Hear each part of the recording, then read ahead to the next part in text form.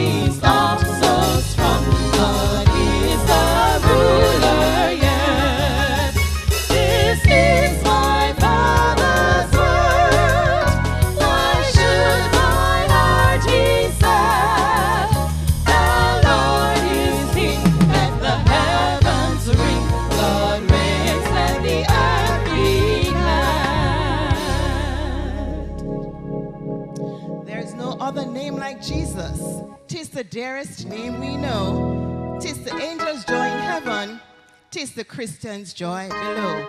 253. There's no other name like Jesus. Stanzas 1, 3, and 5.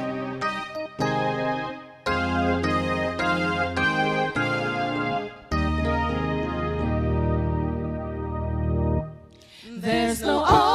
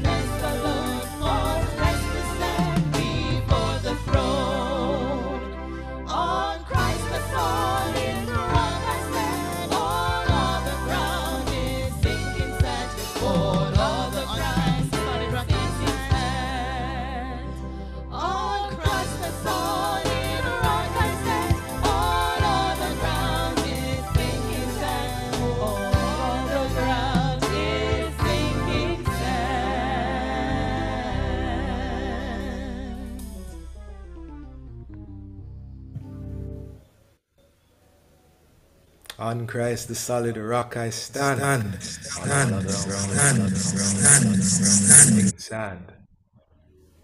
That was a lovely song service. Just, just the thing that we would need to get ourselves back in the frame of mind for a fresh 2022.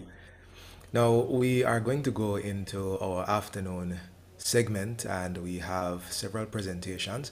And the first one, I am going to introduce our presenter for the next few minutes.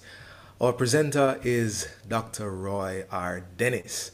Now, he's an ordained pastor who has been ministering as a pastor for over 24 years, and he has pastored more than 30 churches what academically he has prepared for this this role and this 24 year ministry with a bachelor of arts degree in theology from NCU also from NCU he has earned a master of science degree in counseling and psychology with an emphasis in family therapy he went on to the Columbia Theological Seminary in Atlanta, Georgia, where he earned a doctor of ministry. And you know, as the Bible shows us that our, our faith is, is shown in what we do, you know, our, our faith must be shown out. Dr. Dennis has many civic appointments. He is a marriage officer of the island of Jamaica. He's a volunteer police chaplain. He's a justice of the peace. He's a member of the Jamaica Psychological Society. He's a licensed associate psychologist with the Council for Professionals Allied to Medicine. He's a certified clinical supervisor for the Jamaica Psychological Society and the NCU. He's a member of the St. Catherine Child Diversion Committee. He's a certified prepare and enrich facilitator. He's also an international affiliate member of the American Psychological Association. Between 2010 and 2021, he served the Central Jamaica Conference in various capacities, including Family Ministries and Counseling Services Director, Stewardship Director, and Health Ministries Director. And as of this year, January 1, 2022, he has been elected to serve as Family Ministries, Men's Ministries, Stewardship, and Trust Services Director for Jamaica Union Conference of Seventh day Adventist. He has hosted numerous radio programs, including Morning Manna, which airs on Love 101, and the program Lifeline, aired on NCUFM. And presently, he contributes to the program Family Guide on NCUFM. Family is a big deal for Dr. Dennis, and uh, he's, he's married to Keisha, and she's a trained teacher and librarian, certified prepare and enrich facilitator. She is also the acting vice principal at the Jose Marti Technical High School. and their union has produced three children Roshane, Raheem, and Raya. And Roshane is a second year student at NCU. Dr. Dennis will be handling for us and leading us through the very weighty topic of divorce and remarriage. And without any further words from me or interruptions, Dr. Dennis, the floor is yours. Thank you, Theodore, and um, for well done introduction. I would like you to introduce me all the time. all right, thank you so much. Thanks to you, Pastor Chambers, the point person, and the religion and theology department at Northern Caribbean University, as well as the Ministerial Association for the invitation to share. It's my honor to share noble budding ministers in the Ministerial Association. These individuals who will, in the next years to come, uh, be sitting in my seat and pastoring some of the churches that I have pastored in Jamaica. And also, I want to bring you greetings, first and foremost, from the uh, Jamaica Union Conference, or President Pastor Everett Brown, the administration, directorate, and staff at Jamaica Union Conference. I bring you greetings on behalf of my wife and family. Uh, my wife and I have had the privilege of being trained uh, at Northern Caribbean University. I have been trained as a pastor and a psychologist there, and my wife as a trained teacher and so we are honored to serve Northern Caribbean University. I thank her and my family for their continued support. And now, as I address this topic, I don't remember being given the time that I have, Pastor Chambers. Normally, when I'm not given the time, I take a hour. So, so I'm going to, I'm going to time myself for two, um, 326. Um, I see 45 minutes there. So um, not having the time before, I'll try to keep within it, but I, I didn't get the time before, so it is geared for an hour. I'm going to try to work with the 45 minutes. So let us get into the presentation. Then I will be sharing my screen um, with you at this time as we get into this very, very important topic.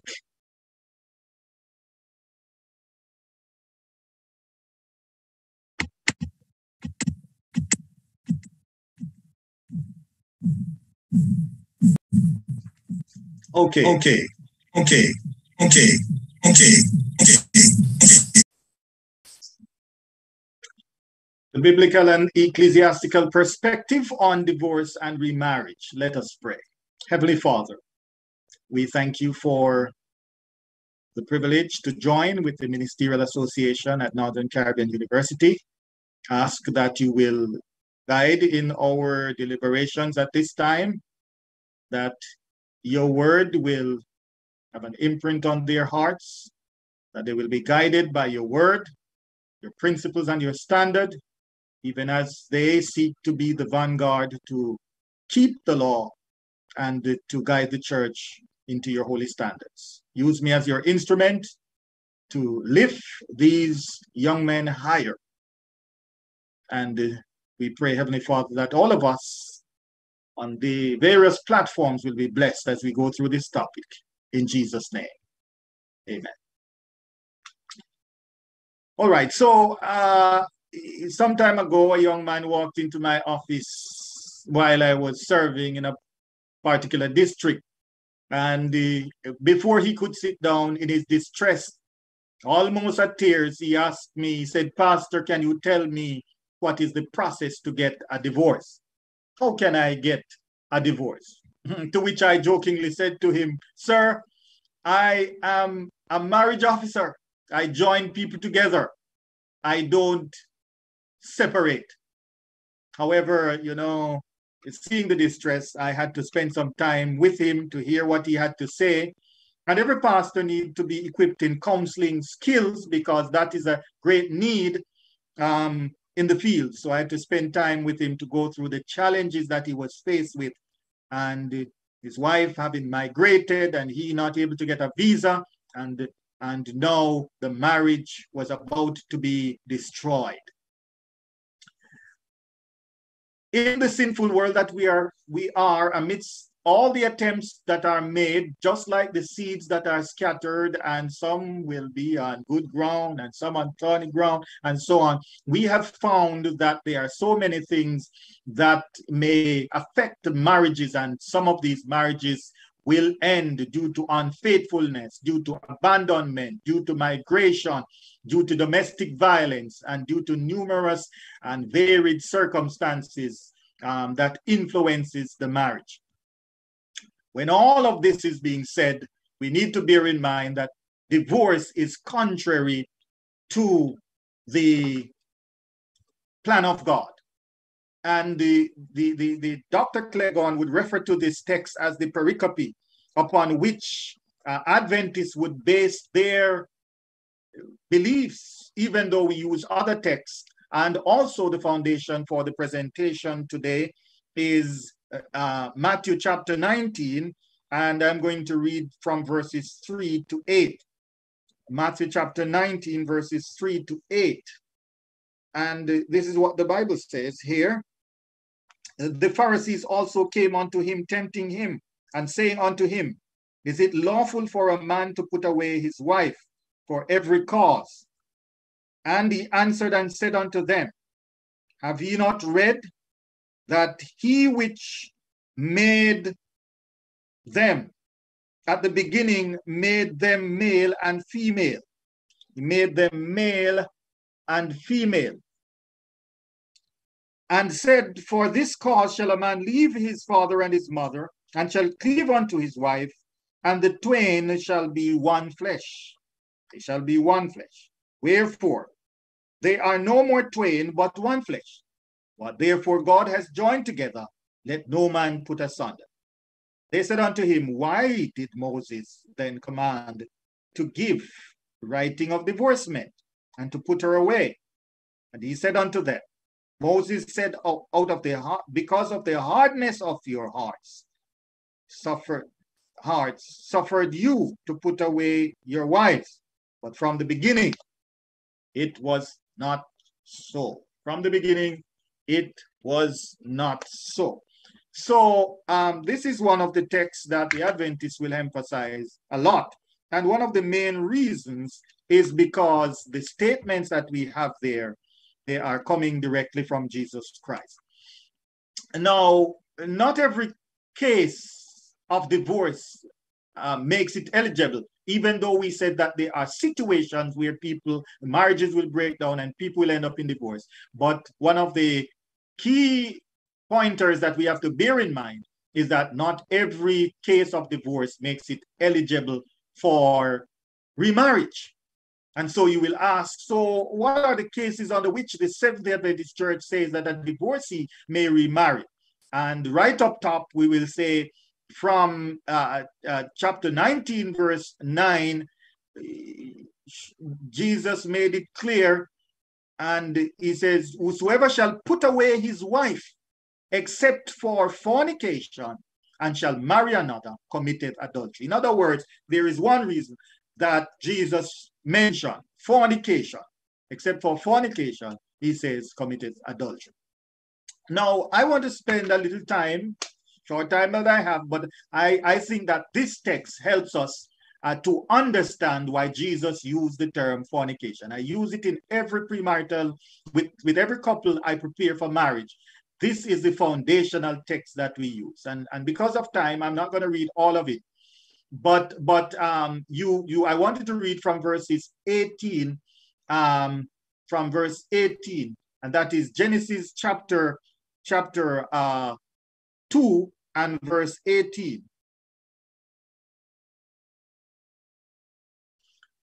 So Genesis chapter 2 and verse 18 to 20, I think it's 24. Let me just check. Uh, um, Genesis chapter 2 and verses 18 to 24. There's no 25. I don't know how uh, um, that uh, online source says 24 to 25, um, but there's no 25. I just copied this thing and, and I have to change that slide there.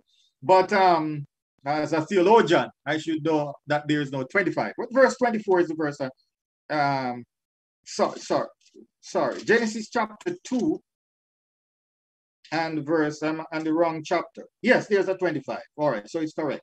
Verse 24 and 25. It says, Therefore shall a man leave his father and his mother and shall cleave unto his wife, and they shall be one flesh. And they were both naked, and the man and his wife, and were not ashamed. All right, so it's two verses that are there. All right, so I, I wanted verse 24, but we have the two last verses there. Therefore shall a man leave his father and his mother and shall cleave unto his wife, and they shall be one flesh. That's the verse I want you to concentrate on. Now, this is the verse that helps us to understand what Jesus says. What does this one fleshness mean?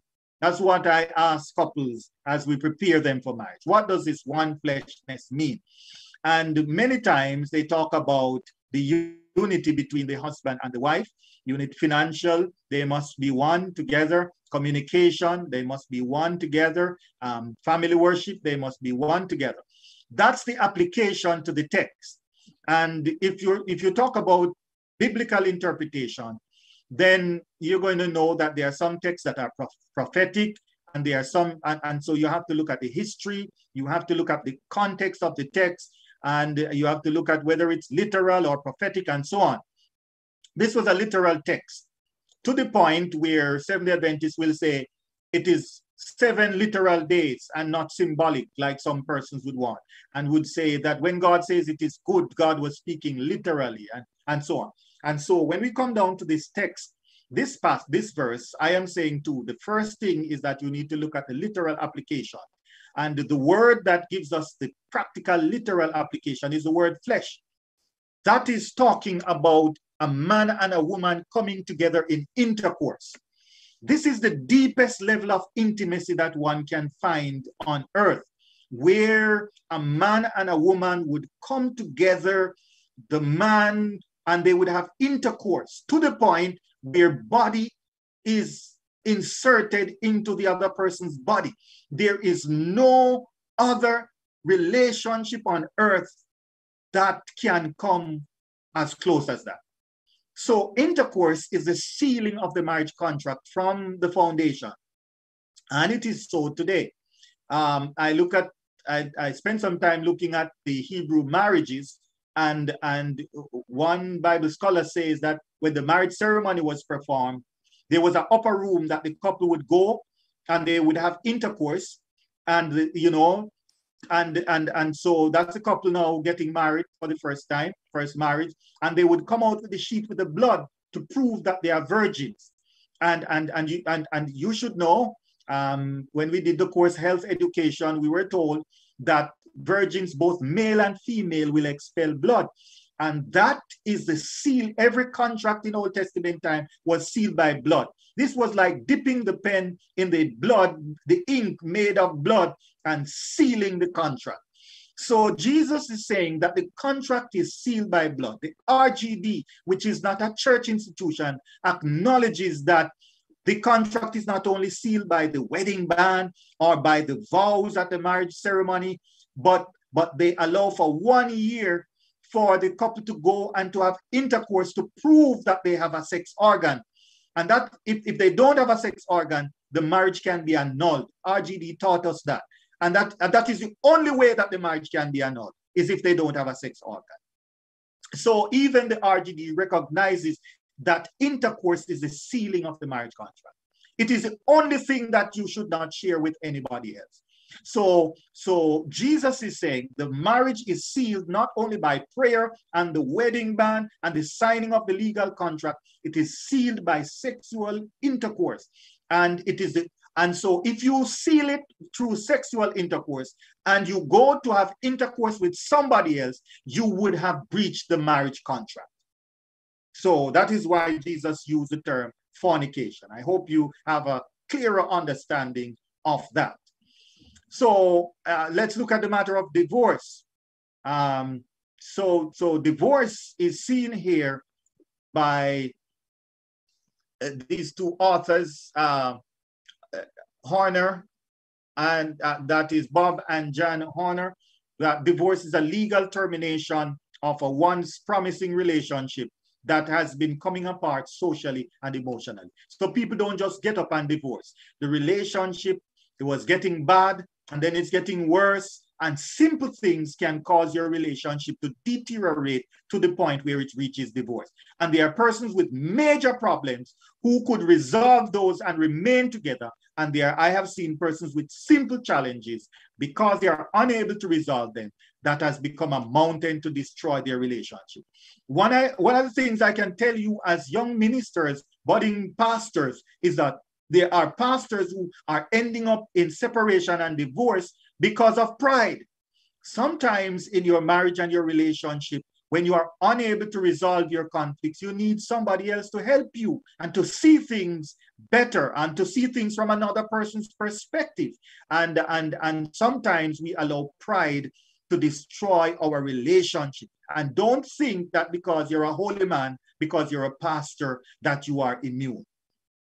So so so so so divorce relationship would have been falling apart. Listen to what um, this adventist um, divorce and remarriage um, uh, and its impact on the seventh day adventist church um, survey has has outlined that legally divorce it says legally divorce is, a, is not is a single event but socially emotionally and psychologically it is a chain of events re relocation, and radically changed relationship that results in a broken family, changed lifestyle, economic hardship, and a series of trans tr transitions that challenges, disrupt, modify the lives of individuals, promoting growth for some. Some people, they are being stifled in their marriage, and when they divorce, uh, it promotes growth for them. And for others, it, it exposes them to vulnerabilities um, that can be devastating and destructive. All right, so that that is uh, what the survey found. Um, so the effects of divorce, the effects of divorce is similar to death. And in some cases, it can be worse because when you have a loved one who has died and you bury them, lay them in the grave, uh, over time you come to acceptance and the goal of grief is to reach acceptance. It, it, it's dubbed that. Disbelief anger bargaining uh, distress and then acceptance. And these are the same symptoms that people go through when they are going through divorce like when there is a death uh, the loss of a loved one. But sometimes when you have a death in the family after you bury the person and you see them go in the grave, you know they are dead. And then they won't be able to come back to haunt you or to trouble you. But when it relates to divorce, sometimes the people who, when the relationship has died, then you have custody cases. Then you have the person haunting you and attacking you in various ways. Then you have the separation of property. And so sometimes the, the misery and the hatred and the distress uh, continues to haunt you for the rest of your life. So there is emotional shock, there is anger, there is loneliness, there is unhappiness, there is self-blame and grief and sometimes suicidal ideation, antisocial behavior and regression in children, difficulty moving on in life, inability to trust another person and to form intimate relationships in the future. And from time to time, from the time the divorce happens through to the recovery, we are told involves seven stages, which for some, there are some people will say there are five st stages for grief, and there are others who will say that there are seven st stages. The same Kubler-Ross who gave us five stages came back and gave us seven stages. And these are the seven stages that people go through when they divorce denial shock and denial and anger and bargaining and depression and acceptance and rebuilding their lives so so you see that divorce is like death, or in some cases, worse than death. So, divorce in the Seventh day Adventist Church, what is it like? Well, this is a long time research. Um, I have not found any recent ones, but what it said at the time is that as the, the researchers in the Adventist Church the General Conference looked around the world, the average divorce rates around the world were from 10% on a low in any country to 28% on a high. Um, in the United States, uh, there were it was said that there were um, you know some persons uh, first marriages um, by 2000 were ending up 50%. But this is what the Adventist Church found 10 to 28%. For that same period, let's see how the the the the the the the, the, the, the so divorce rate, the Adventists reporting that they experience. So 10 to 28% rather in the Adventist church. Pardon me. That was what the Adventist church found, that the highest level in the Adventist church were about 28%. And the, the, on a low in any country, it would be about 10%. In countries now, you would have higher rates of divorce and possibly lower rates in some countries.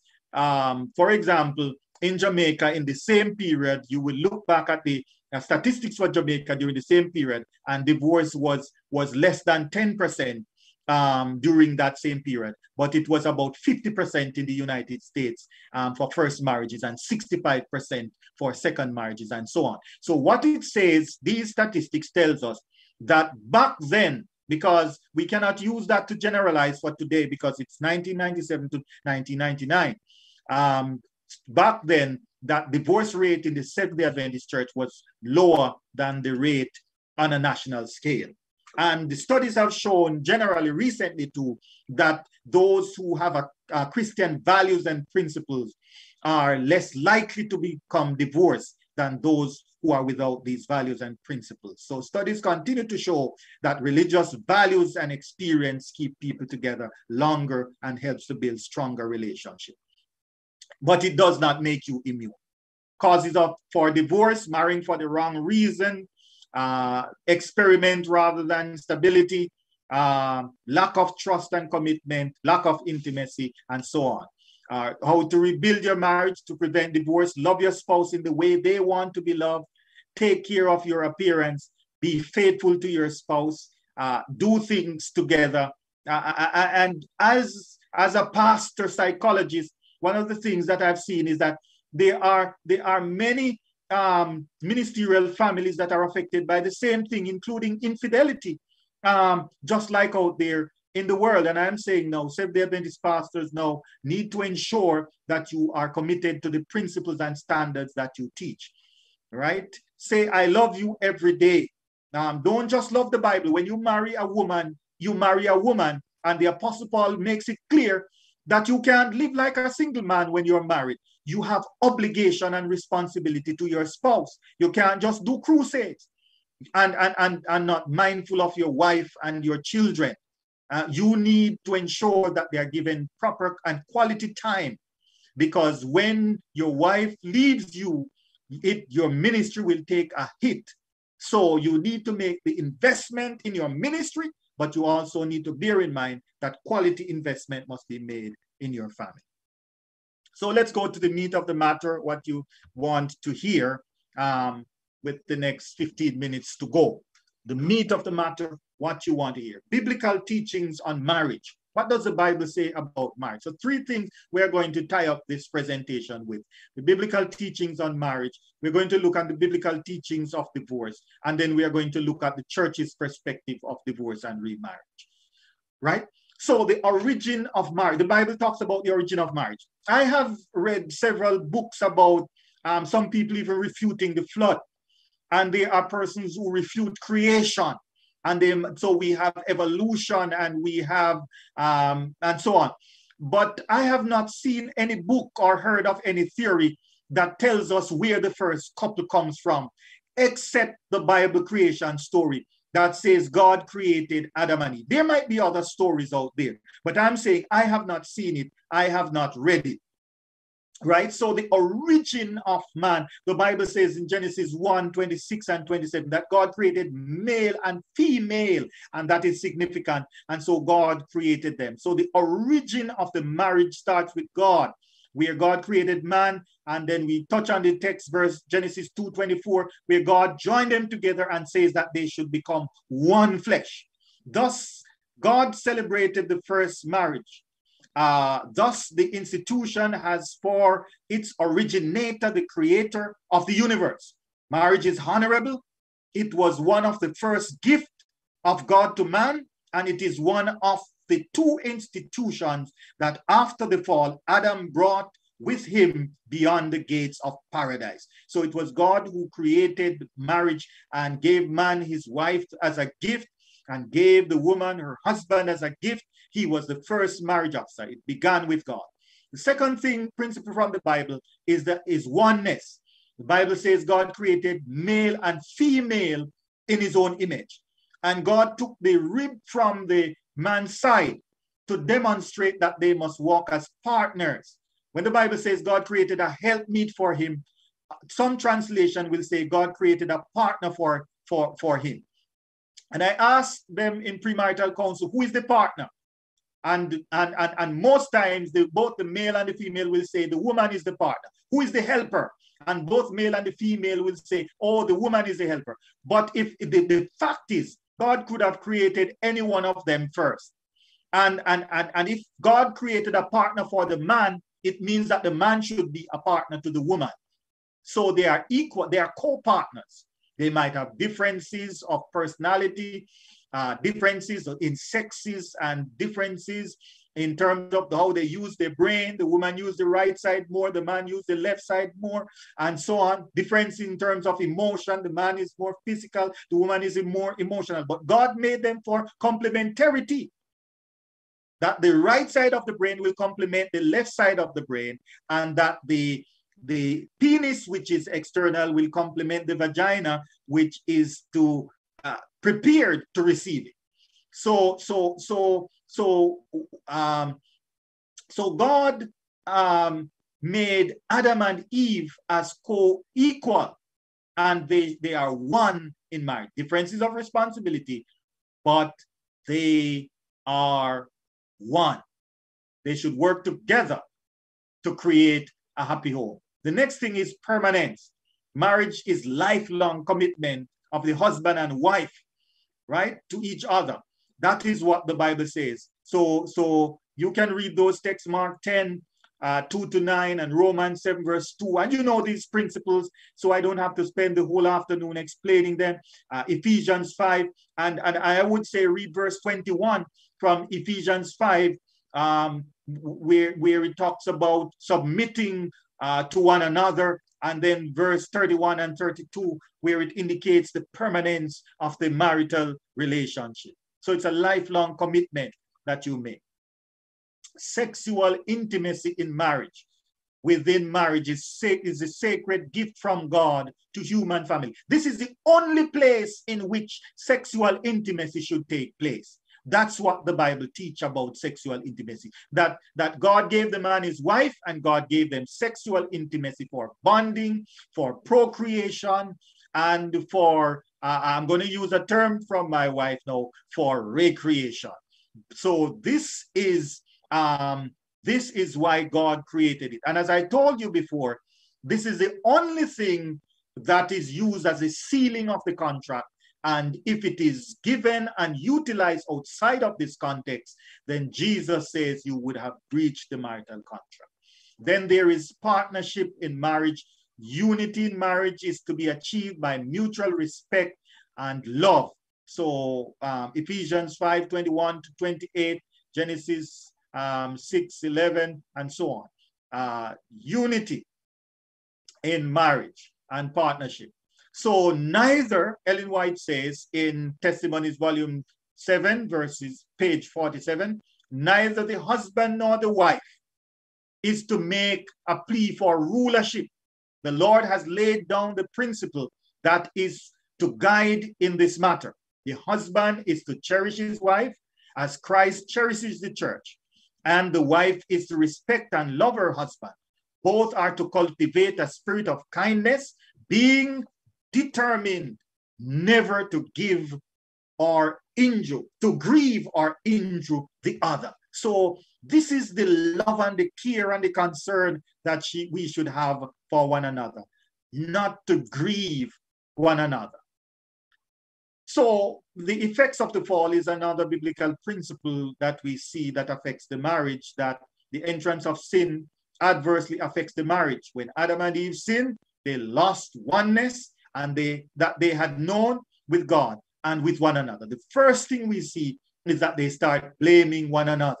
They start blaming one another. And the, the man says, It's the woman that you gave me. And the woman says that it's the serpent that you made. And uh, the, the, the woman says it's a serpent that you made, and the man says it's the woman that you gave me. And ultimately, they start blaming one another. Later on, we see that there was violence in the home and the family where Cain killed his own brother uh, Abel, and the whole creation groans as a result of the fall. The same way that as a result of man's fall and man's sin, God stepped in, took the fig leaves from man, killed an animal, a clean animal, which the blood was pointing to the blood of Jesus, and uh, gave them the, the, the, the, skin of this animal for covering, uh, because without the shedding of blood, there is no remission of sin. And this brought about restoration and healing. When you have difficulties in your marital relationship, there must be restoration and healing and restoration the, and I normally say the person you're going to need to forgive the most is the person that is closest to you. There are people out there at church that you don't have any business relating to because you don't have any close relationship to them. And you and you may not have to forgive them for anything. But the more time you're going to spend with your wife and your husband, you're going to find that if the relationship is going to work, that people might be good, but people are not perfect and they will make mistake. And anytime you can forgive one particular mistake, your relationship is already over right? So restoration and healing is a part of his grace, um, must be administered. Biblical teachings of divorce. What does the Bible teach about divorce? Not much, I'm going to say here um, because of time. But the Bible teaches one of the main things that the Bible teaches is that divorce is contrary to the plan of God. In Matthew chapter 19, uh, verses 3 to 8, the passage that that uh, the passage I wasn't having that feedback. I don't know why suddenly that feedback is there. So um, the passage, the passage that we're focusing on, Matthew chapter 19, verses 3 to 8, Jesus says, From the beginning, it was not so. And then he says, Moses told them to write this divorce because of the hardness of their heart. I don't have the time to read the passage, so I'm going to tell you this is a key passage for you to read. Two passages you need to read uh, from, um, as you try to understand this matter of divorce and what the Bible says about divorce. You, you will see on the screen several passages that you can choose from, but there are two key passages here Matthew 19, verses 3 to 8, and Deuteronomy 24, verse 1 to 4. Look at the history of Deuteronomy 24, 1 to 4, and you will see that only men, because it was a male dominated society, the men would get the education, the men would make the decision, and so on. In our today's society, women are educated and women can have a choice in divorcing. So only men would divorce. And men in Moses' day were marrying based on the culture in the society more than one woman. So if the man found a fault with his wife, um, he could easily put her away, he could divorce her, and he could go and he could marry another person.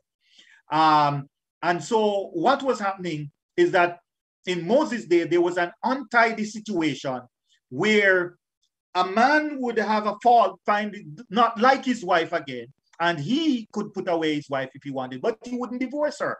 So he would just abandon that wife and he would have other wives that he, he, he's being entertained, he's being fulfilled, he's being satisfied. And women could not go and work on, uh, unless they're a widow or, or they are divorced. And this woman now is known to have a husband but the husband is not providing for her and he has abandoned her and she's unable to move on with her life. And because of this untidy situation, Moses said to the, the, the, the, people, Moses thought about it, and Moses, in trying to fix this civil situation, Moses said, Write the woman a, a, a bill of divorcement. Set her free. If you don't want her again, set her free so that now she's divorced. She can go and find employment and she can provide for herself. And she won't have to stay with the impression that she's married. She's suffering, her needs are not being fulfilled, and she cannot provide for herself. So that's the situation that prevailed in Moses' day. So Moses was giving um, an order to solve an untidy situation in a civil society. Moses was not writing a theological thesis, and he was not writing a theological dissertation that is of ecclesiastical significance. He was solving a civil situation. That is what took place in Moses' day.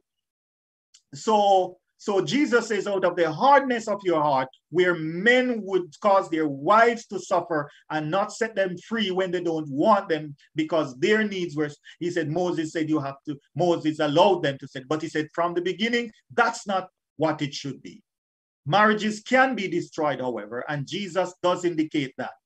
So there are various reasons why marriages may be destroyed. Marriage rests on the principle of love, of loyalty, of exclusiveness, of trust, and support upheld by both partners in obedience to God. So Jesus was not naive, and I am not naive to think that marriages cannot be destroyed. And marriages can be destroyed for more reasons than fornication. But what we are saying here from the biblical perspective, that uh, that if the marriage is destroyed, that the reason for remarriage would be fornication. So when there is difficulties in the marriages, we should exercise grace. The grounds for divorce and remarriage that we have seen in the scriptures, uh, Jesus spoke about fornication. Uh, we read that already. And uh, I'm going to read this as my final text, which is First Corinthians chapter 7, verses 10 to 15. I'm going to read this one. First Corinthians chapter 7, even though I think the time might be up, the 45 minutes is up, and I am trying to stick as close to it as possible. First Corinthians 7, verses 10 to 15. The, the, the Bible says, let me read this one. And unto the married command, yet not I, but the Lord. Let not the wife depart from her husband. But if she depart, let her remain unmarried or reconciled to her husband, and let not the husband put away his wife. But to the rest I speak not the Lord. If any brother hath his wife and believeth not, and she is pleased to dwell with him, let him not put her away. And the woman which hath a husband that liveth not, believeth not, and if he please to dwell with her, let her not leave him. For the unbelieving husband is sanctified by the wife, and the unbelieving wife is sanctified by the husband. Else were you children uh, unclean, but now they are holy. Verse 15. But if the unbelieving depart, let him depart. A brother or a sister is not under bondage in such a case, in such cases, but God has called us to peace. So from this, just like from the text that Jesus, we, where Jesus quoted, the Seventh-day Adventist Church has deduced that an unbelief, someone abandoning the faith and leaving their Seventh-day Adventist spouse, give them reason that they can both divorce and remarry. Um, abandonment for the gospel's sake. And um, this is something that has been debated for years and in more recent times have been accepted as a reason for divorce and remarriage. So um, what does the Seventh-day Adventist Church say? And I'm just going to list what this, and you can find this now in the SDA Church Manual and the pages one, you can read from page 192 thereabout, and this is the 2000 edition and it and it makes some important statements that I will close on that will guide you on what the Seventh Adventist Church believes in terms of divorce and remarriage. So it, first of all, it says that marriage is permanent, so you must not put away your wife. So it is not God's intention for divorce to take place. Secondly, is that unfaithfulness and, and abandonment for the gospel's sake um, gives the person the right both to divorce and remarry. Um, and when it comes to fornication, you will see on this slide that fornication is any sexual deviance.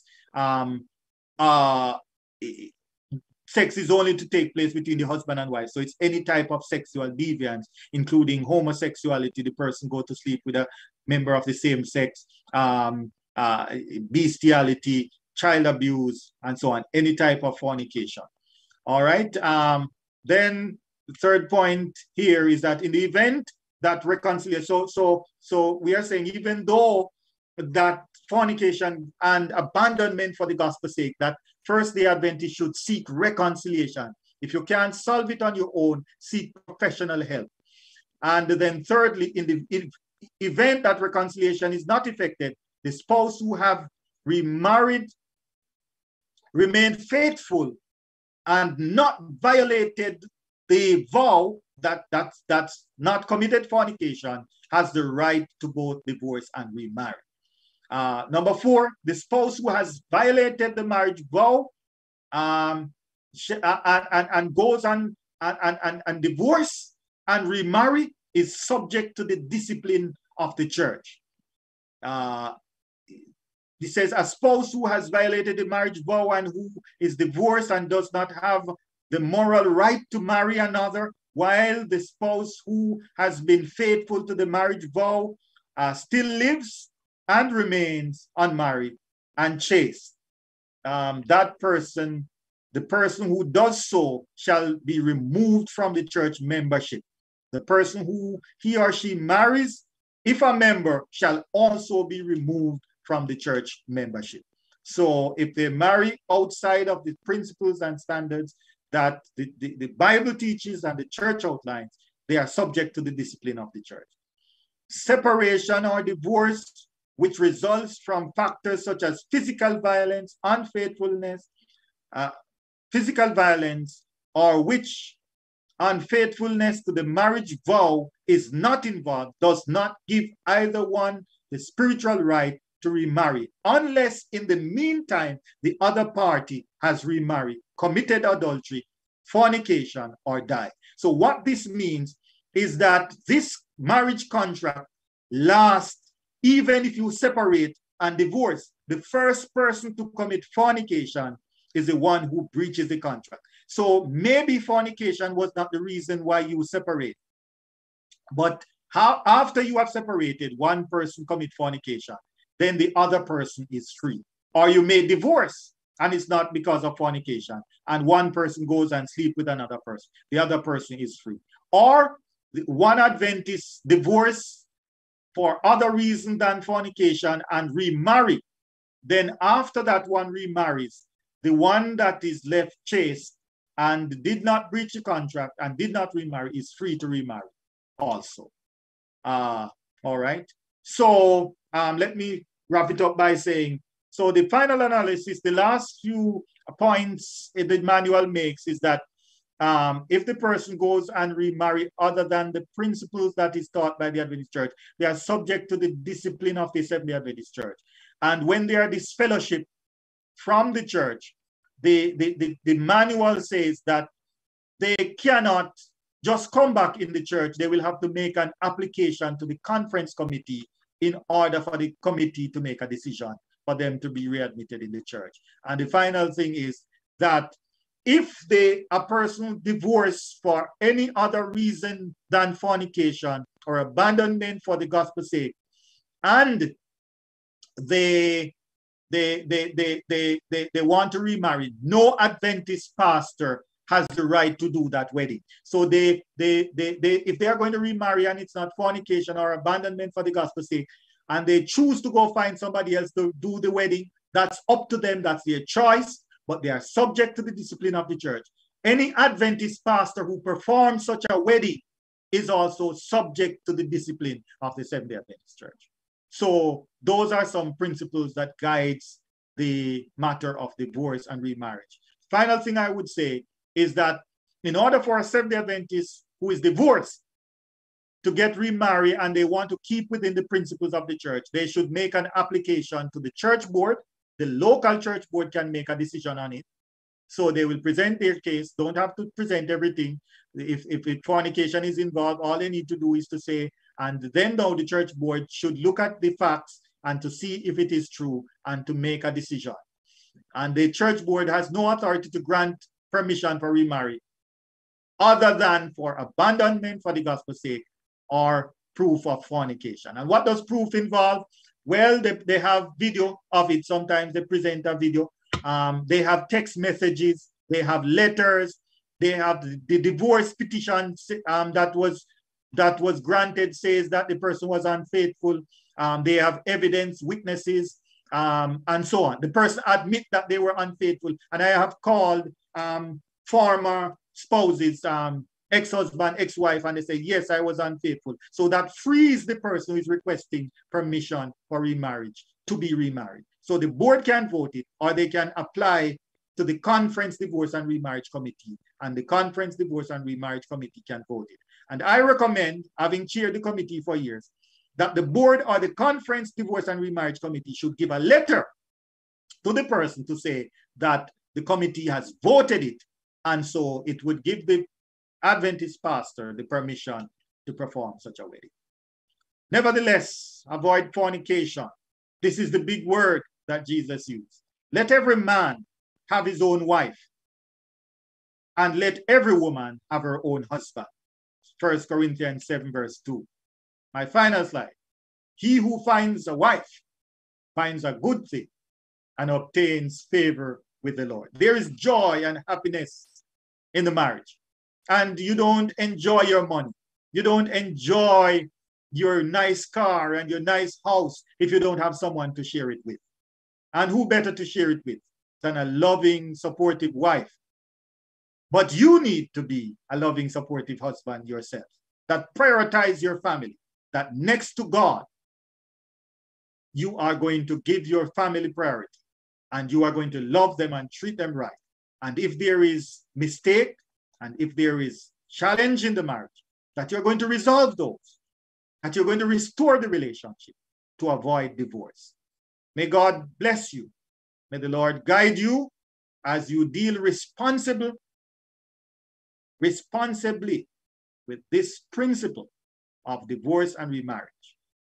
May the Lord help that if you're already married, that you will stay together. And if you're not yet married, when you get married, that you will apply the necessary principles to maintain the relationship, and that as a pastor, you will deal fairly with the cases of divorce and remarriage in your local congregation or wherever you serve. Thank you, and God bless you.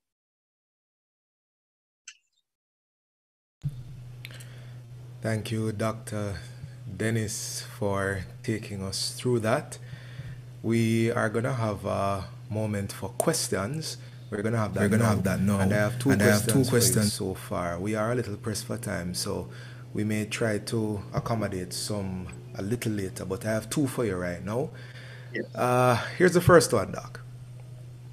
This one says, "You mentioned that according to Scripture, divorce is accepted only on the basis of fornication. I believe you dealt with this, but yeah, you'll have to go yes. again." What if a husband consistently, emotionally, and physically abuses his wife? What advice would you give? Well, uh, one is the first that the, first point is that when you have any situation, including um, physical and emotional abuse, that uh, makes you unhappy, you need to confront your spouse on that. So you have to say um, some of the things you have been saying to me: you're ugly, you're fat, you, you, you're dunce, you know, some of those things are when you push me in the wall. Um, I, I, I don't appreciate that. So you have to find a nice way and a nice time to confront the person. If you are unable to do that on your own, you will need a professional third party.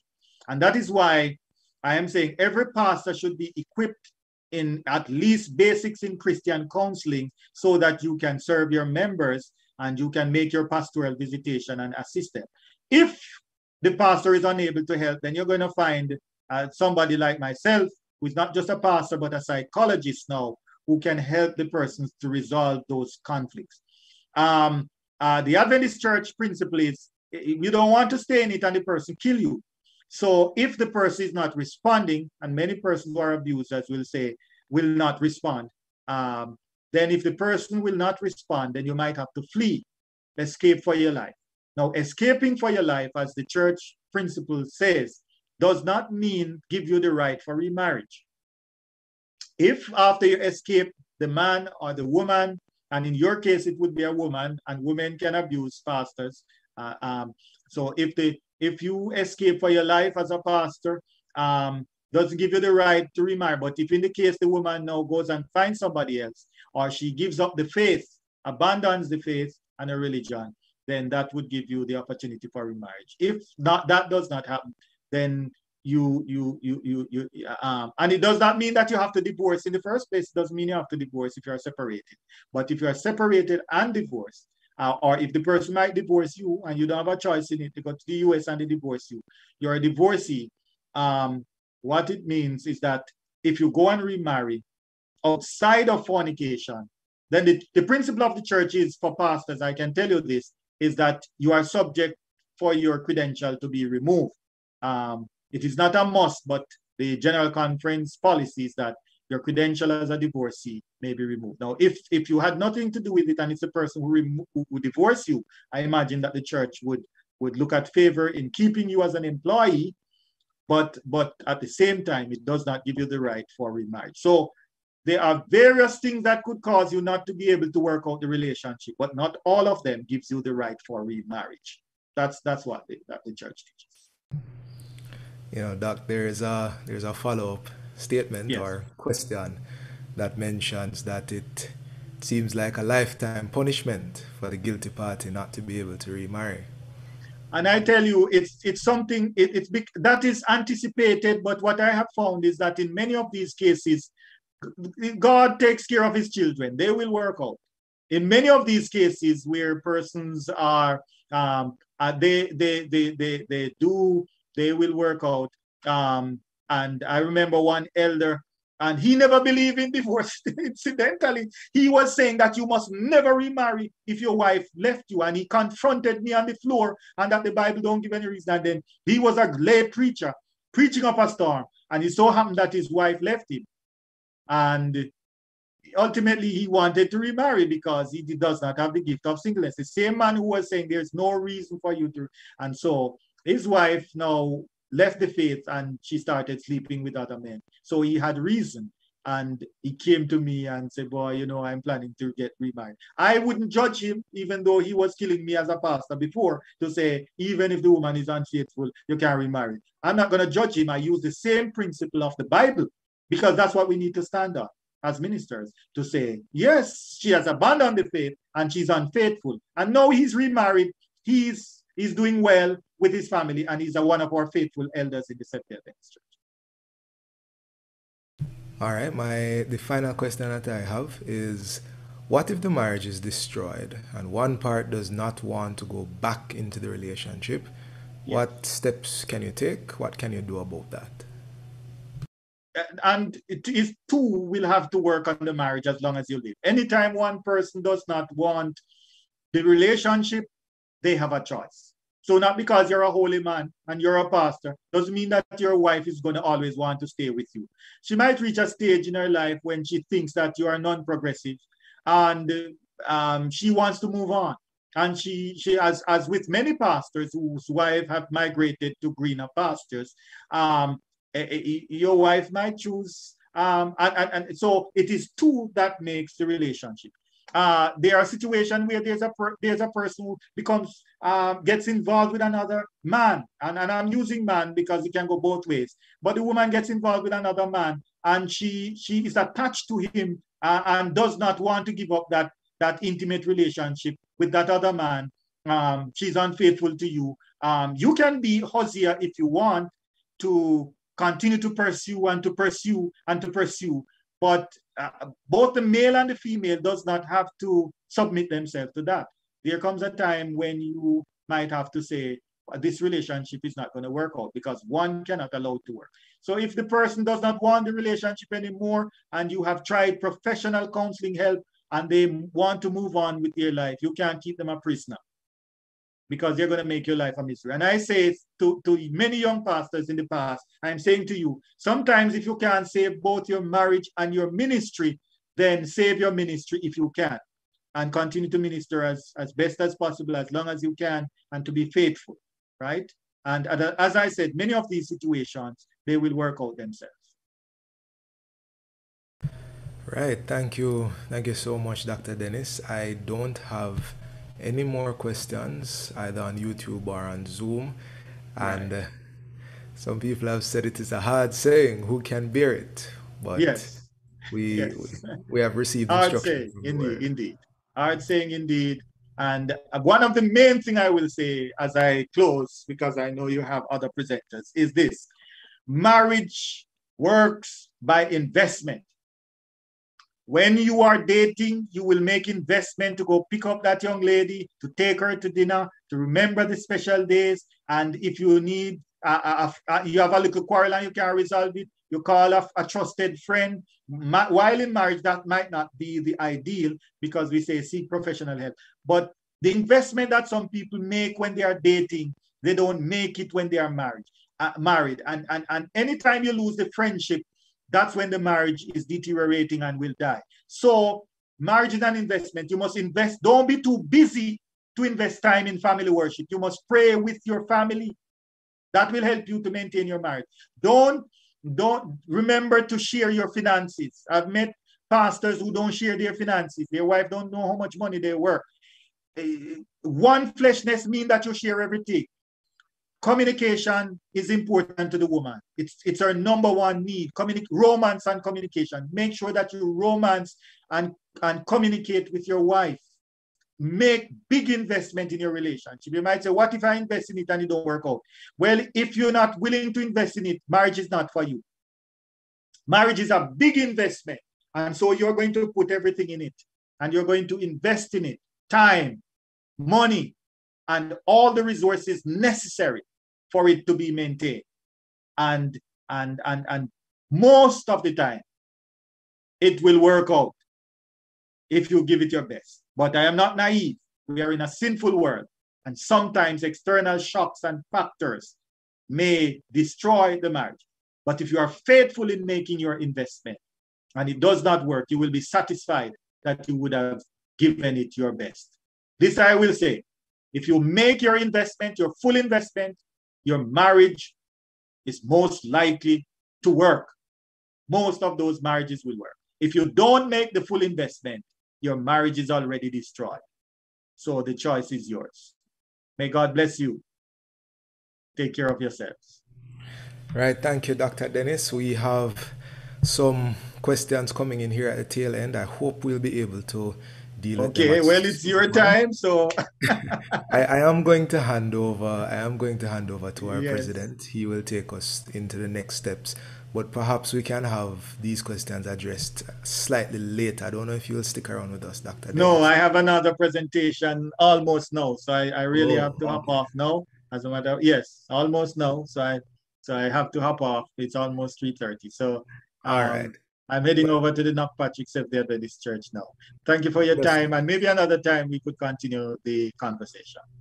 All right. Thank you so much again, Dr. Dennis. Uh, Pastor, I will now hand over to Roger, who will take us into our next segment.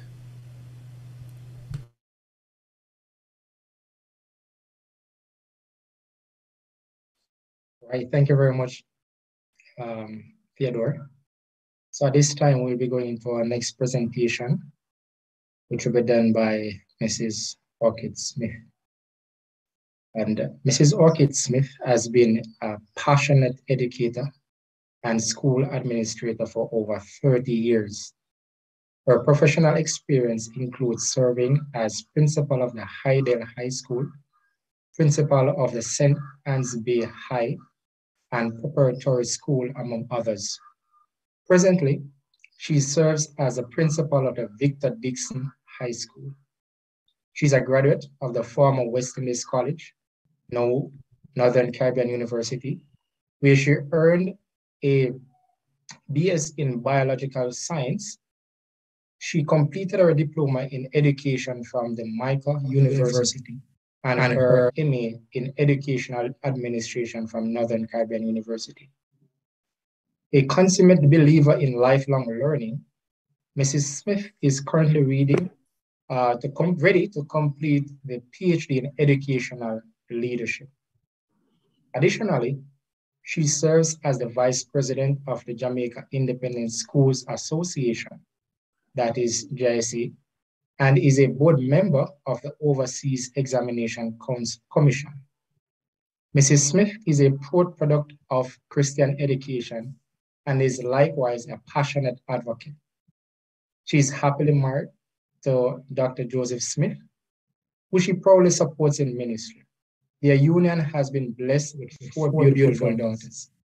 Mrs. Smith loves the Lord, holds to stellar standards of excellence, and moreover, advocates the biblical pronouncement to train up a child in the way he should go, and when he is old, he shall not depart from it. So this time we'll be hearing from Mrs. Orchid Smith. All right, thank you very much, um, Mr. Robert, Robert Williams. And I noticed that um, Theodore was hosting so far, Roger Williams. And uh, may I just greet the staff of the SRT, those who are on, and the students of that department, persons participating this afternoon. And uh, just tell you that I'm humbled and for the opportunity to share with you this afternoon. The topic that I have been given is team ministry and uh, I have been working in teams all my life. And as a matter of fact, to get me here this afternoon, it took a team. Took a team, my husband getting me here from another parish, my daughter helping out my mother, and uh, it it is a wonderful joy to be able to have people that you can count on and that you can depend on. And um, my family provides that for me. I want to also commend the team that is involved this afternoon. And uh, let me just share just share my first slide. Are you able to share with me at this time? Yes. Okay, wonderful, wonderful. First slide says, every day, in some way, you are a part of the team. A part of a team. So Roger, you are a part of a team. Theodore, you are a part of the team. I see you, Pastor Chambers. You are a part of the team. And uh, those who are on this afternoon, you are a part of the wonderful team attending or contributing to the success of this program in some way or the other. And I have um, limited time this afternoon, and so I have to move quickly, albeit I won't be very long. I'll try to get to the salient points very quickly. So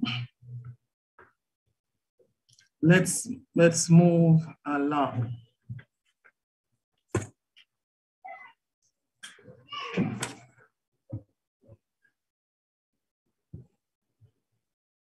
you might be fully aware of that teams come in various shapes and sizes. And uh, never forget that no matter you, what you want to do, it really takes teamwork to make the dream work. And that's from John C. Maxwell. This week, we were, and as a matter of fact, still going on in the sports arena. We have the National Boys and Girls Athletic Championships. And why am I speaking about it? Because we're talking about teams. And although we are emphasizing teams in ministry, we have to look at the relevance at this time. And we know how important a relay team is because we have been on the edge of our seats on so many occasions when the person running on the back stretch, when somebody, one of the connecting persons, just dropped the baton and the relay team was disqualified. And we are just so heartbroken because we were there cheering for our team. And now, because one member of the team dropped the baton, there the team would not be placed. And so, so we are fully aware of teams. And uh, in ministry, I have been working with my husband in team ministry for many years. And I know that is what we want to focus on, but we have to contextualize as we go along. So I just spoke about the teams in sports. I, at the beginning, I talked about the teams planning the ministerial refresh. Then I mentioned the team in motion to get me here this afternoon. And I want to move to the, the team. Jesus, in executing the plan of salvation with his father, was that he was a team. And uh, I've always thought about this very provoking factor, very provoking factor to me. The issue of when Jesus seemed to have become scared.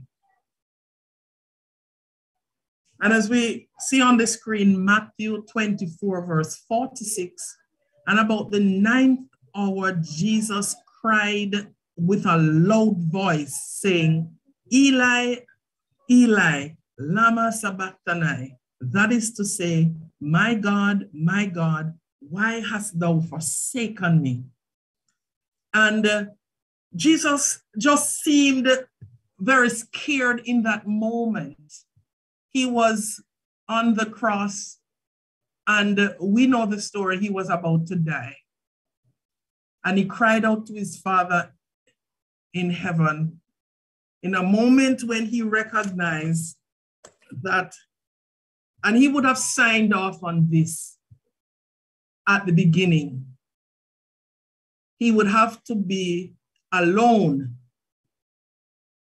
in death. He would have to be alone in the grave. At those times, there would be nobody there for him. Although he knew that he would be resurrected, that human component was there.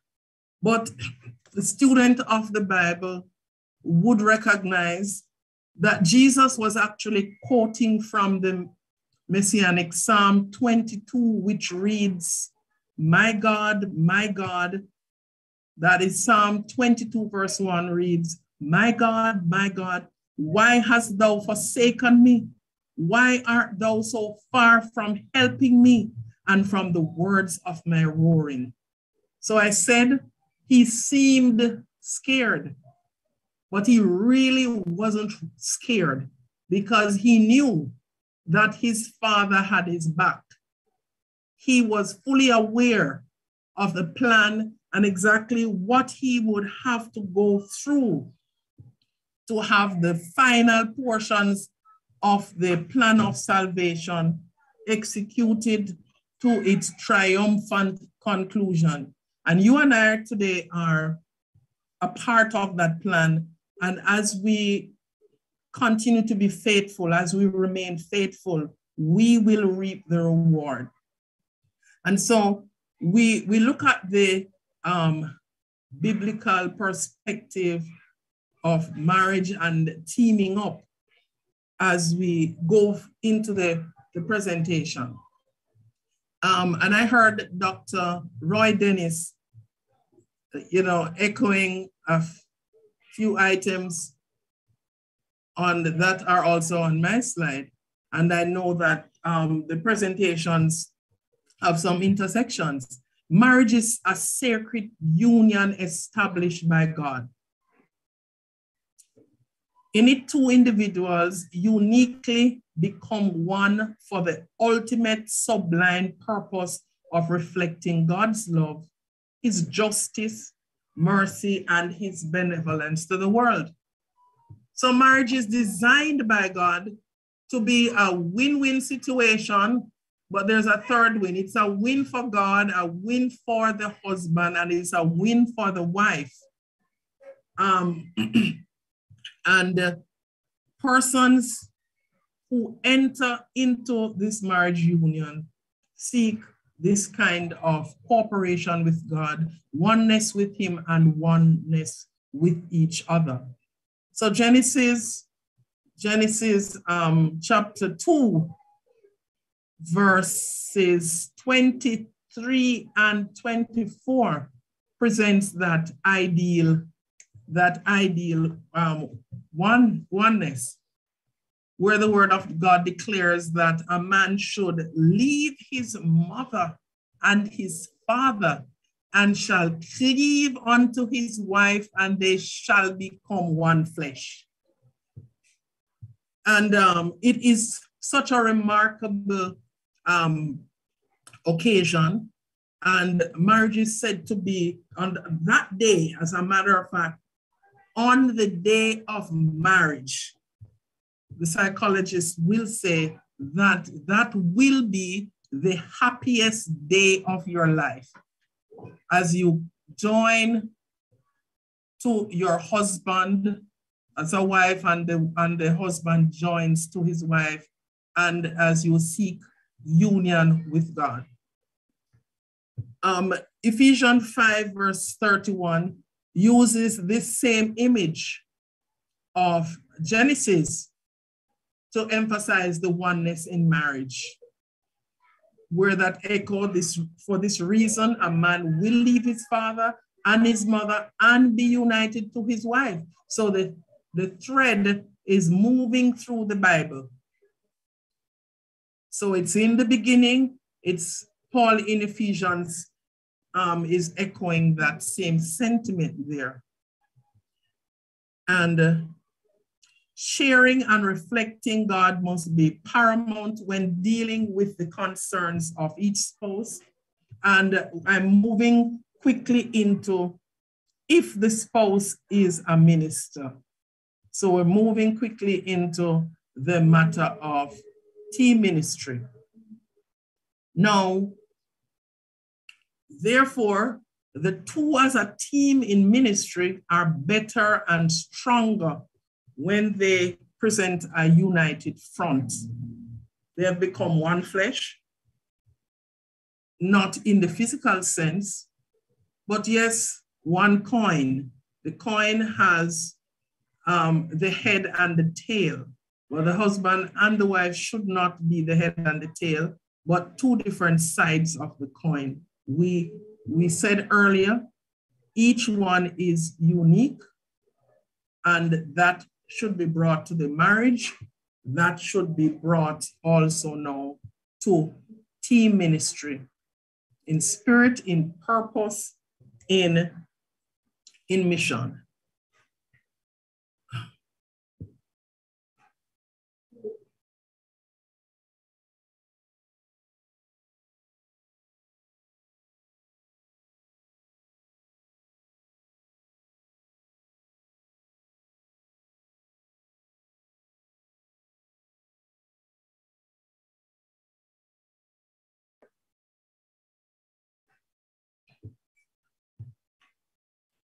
So as we continue, the team dynamic is beneficial and crucial in both marriage and ministry.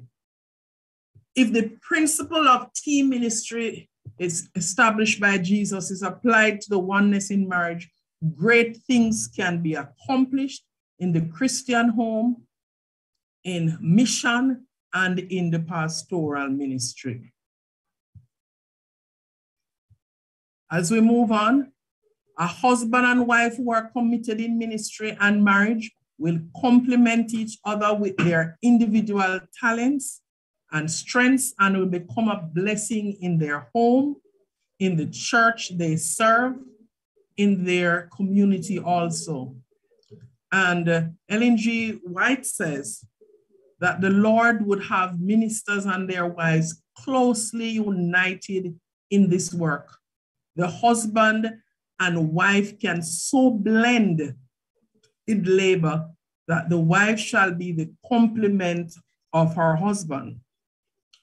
So as you partner in ministry, it can be very challenging, however, very rewarding.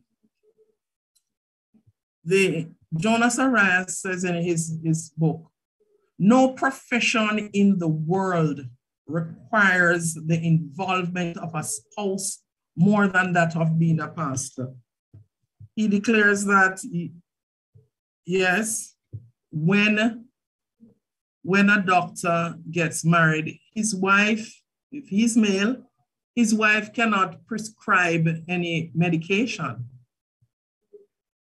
If a lawyer, whether it's a female or a male spouse, same would um, carry for a lawyer.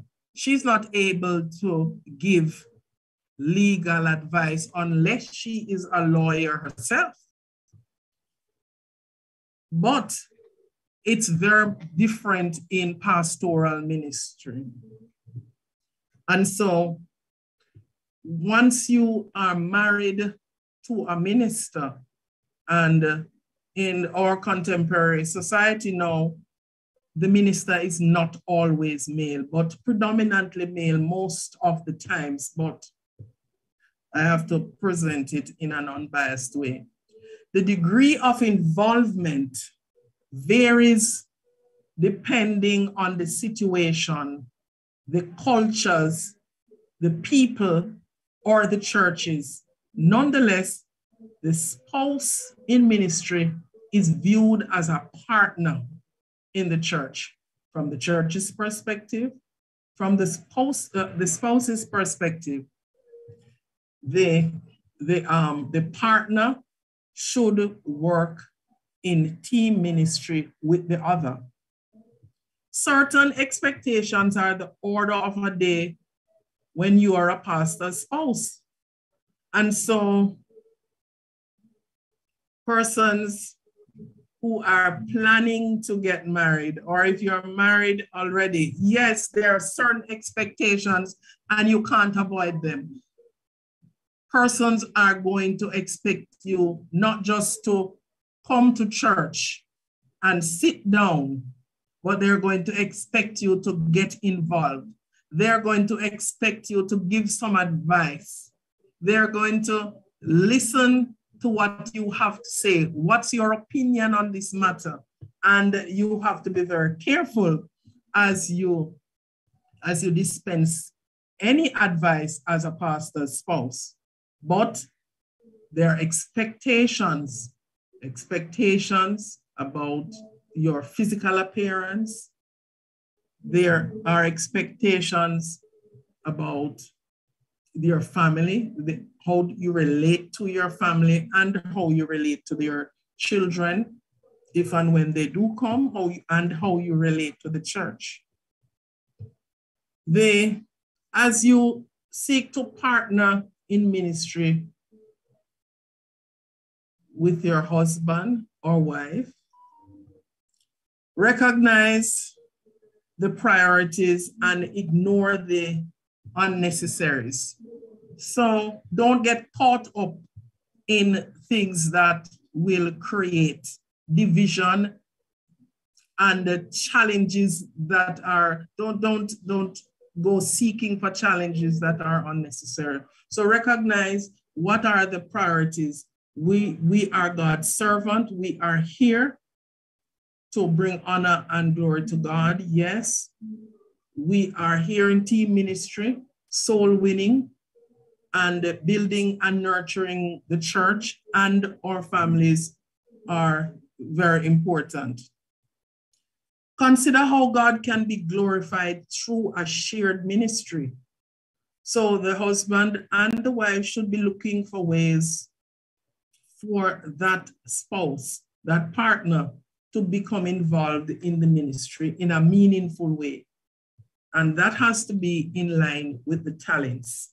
So once upon a time, um, some wives felt a bit threatened because they couldn't do what they were expected to do by the congregations. And we had said earlier that they, based on the persons you meet in the congregation, based on the church, based on the culture, the needs, the demands, they are different. So you have to consider the environment you are in and find ways to minister that are effective and are relevant. If you're a pastor, discover ways to create the right environment to involve your spouse in ministry. And so you have to look at what is needed here and what are my gifts and talents. And sometimes you also develop those gifts and talents as you come uh, as you come of age, as you become more mature. What are some of the things you would do? So I have some examples here. Um, a pastoral visit. Yes, a pastor could take his wife along on a pastoral visit.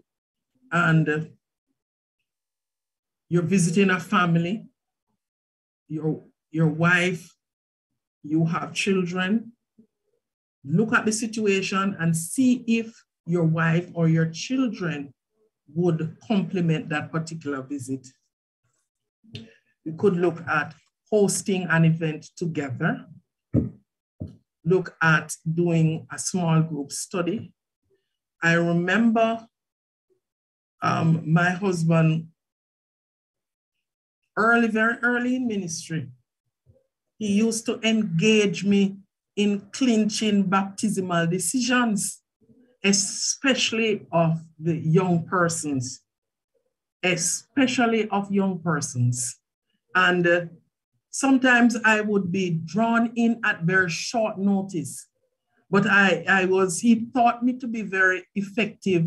And I found out that I was very effective too, because I would be able to talk to, to mothers, speak to young children, and speak to young people.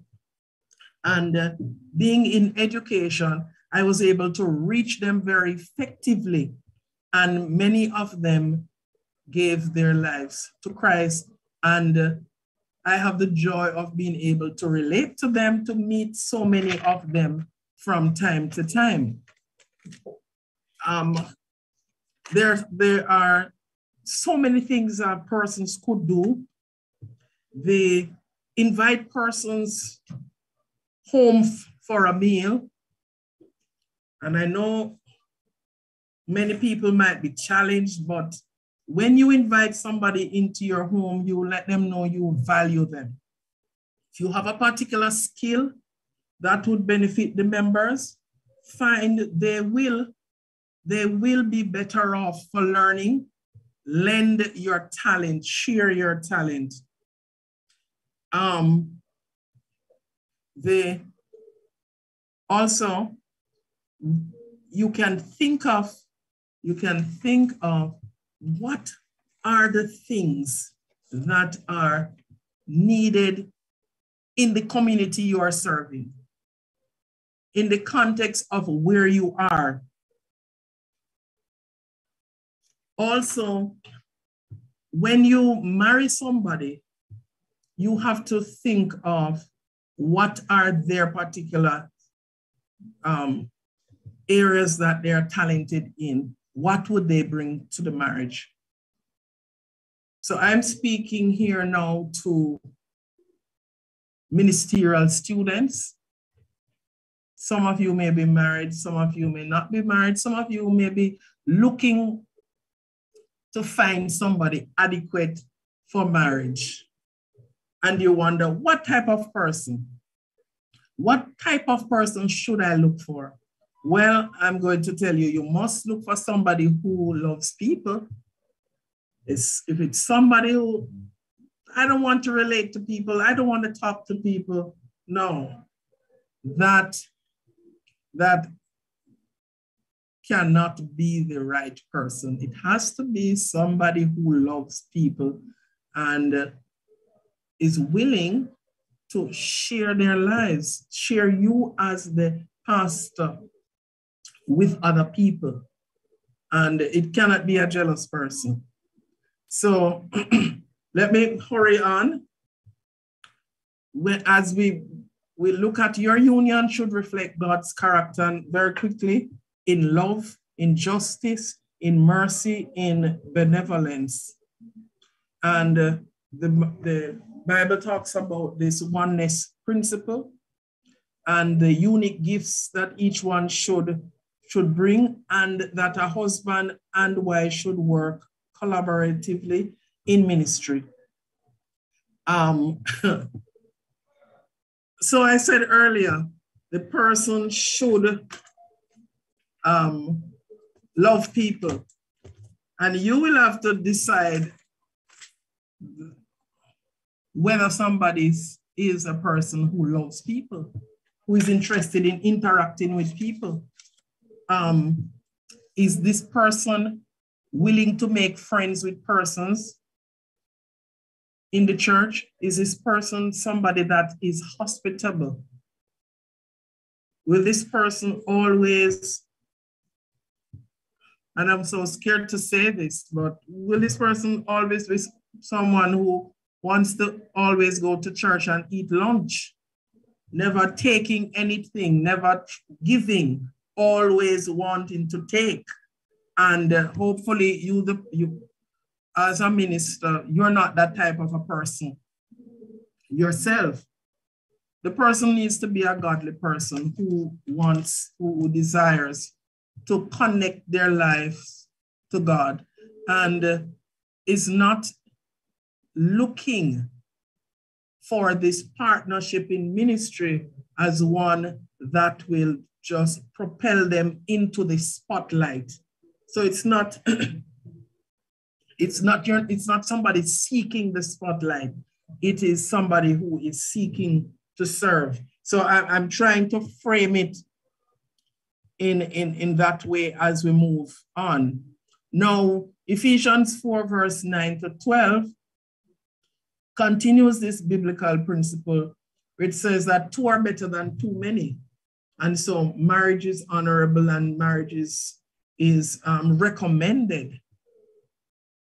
And uh, the, the scripture says, two are better than too many because they have a good reward for their labor. It means they complement each other. You're, you are able to see something that your partner cannot see. Mm-hmm. And this is something, there's something that my, my husband would say. If you are both alike, if both of, both of you are alike, one is unnecessary. And so you're looking for somebody want to be, um, be married to, somebody who will share ministry with you. Look for somebody who will complement you in, in your ministry. So the text reads, for if they fall, one will lift up his companion. So if you are a hot-tempered gentleman, are you looking for a hot-tempered lady? So that if there's any problem at the church, and the husband is about to, to use his energies in a negative way, will the wife jump in and fire him up? Or will she be able to say that word in season from the Lord so that tempers will, will um, dissipate and uh, God's spirit will rule? So, so the text says, but woe to him who is alone when he falls, for he has no one to help him up. And I, I dare assert that if the person is identical to you, you are still alone. Again, if two lie down together, they will keep warm. But how can one be warm alone? The one may be overpowered by the of another, two can withstand him. And a threefold cord is not quickly broken. That is the husband, the wife, and God. So we move quickly on. Um, an essential part of ministry is choosing somebody who is not your competitor, but the word I coin here is your completor. And so, how much more can I say on that? Someone who is not going to compete with you. I preach this Sabbath, you preach next Sabbath. It has to be somebody who will complete you, not compete with you. Team ministry is not competition. It is somebody um, joining forces with the other, the pastor and the spouse, joining forces with God and with each other to enhance the ministry of Christ. All right? We partners in ministry need to work to, together much more than um, being apart. So try to be together much more than being apart. And I heard Dr. Roy Dennis speak about the um, the matter of divorce in ministry and divorce in the church. Yes, and he says, you know, happily that most cases can be resolved successfully, but there are times when persons have to part. But one of the things that needs to be done is that partners in ministry need to work to be together much more than they are apart. So try not to take appointments that will cross thread and that will have you have your schedules so divided that you can't support each other. Like for example, this afternoon, the um, Pastor Smith is here with me. So although we have another appointment in Kingston um, in a few minutes, so we're here, uh, we're here in Kingston and we'll move on to another appointment. So he's here giving me support. And so it's important um, that I am with him at his appointments and he is with me as far as possible. So we are not competitors. We are working as um, team partners, sorry, in ministry. Now, the, let's look at what um, Ellen G. White says in Evangelism, page 491. And she echoes it once again when it is possible, let the minister and his wife go forth together. The wife can often labor by the side of her husband, accomplishing a noble work. And you have pulled me out to participate this afternoon, and, and, and that is a good thing. She can visit homes of the people and can help the women in these families in a way that a husband cannot do. So a woman can be connected easily to other women, can sense what is happening, especially if you are an intuitive woman, you can, you can sense the mood, you can sense the situation, you can ask the right questions that will help to solve the questions, um, solve the problems that are being encountered by the families at that time. So yes, one of the things I remember when I had small children, I would take my children to visit with, along with my husband, take them to visit the homes they um, especially um, on the holiday time, we would visit the homes for the elderly. They wouldn't get a lot of visitors. And the children would participate in sharing their talents and cards any, and any little gifts. And so I was developing in them that spirit of volunteerism at that time, that spirit of empathy. And uh, I remember carrying it over into the school when um, I became principal. I would ensure that we have several days each year when we would visit the persons from different nursing homes, children's home, and I would have them take gifts. We would even visit the veterans home. And I found that this developed empathy and love in the heart of those children when they were able to go and see um, the elderly, recognize that one day they would become old too. Also, they were able to talk with some of them and they would share their life stories and they would, uh, they would learn.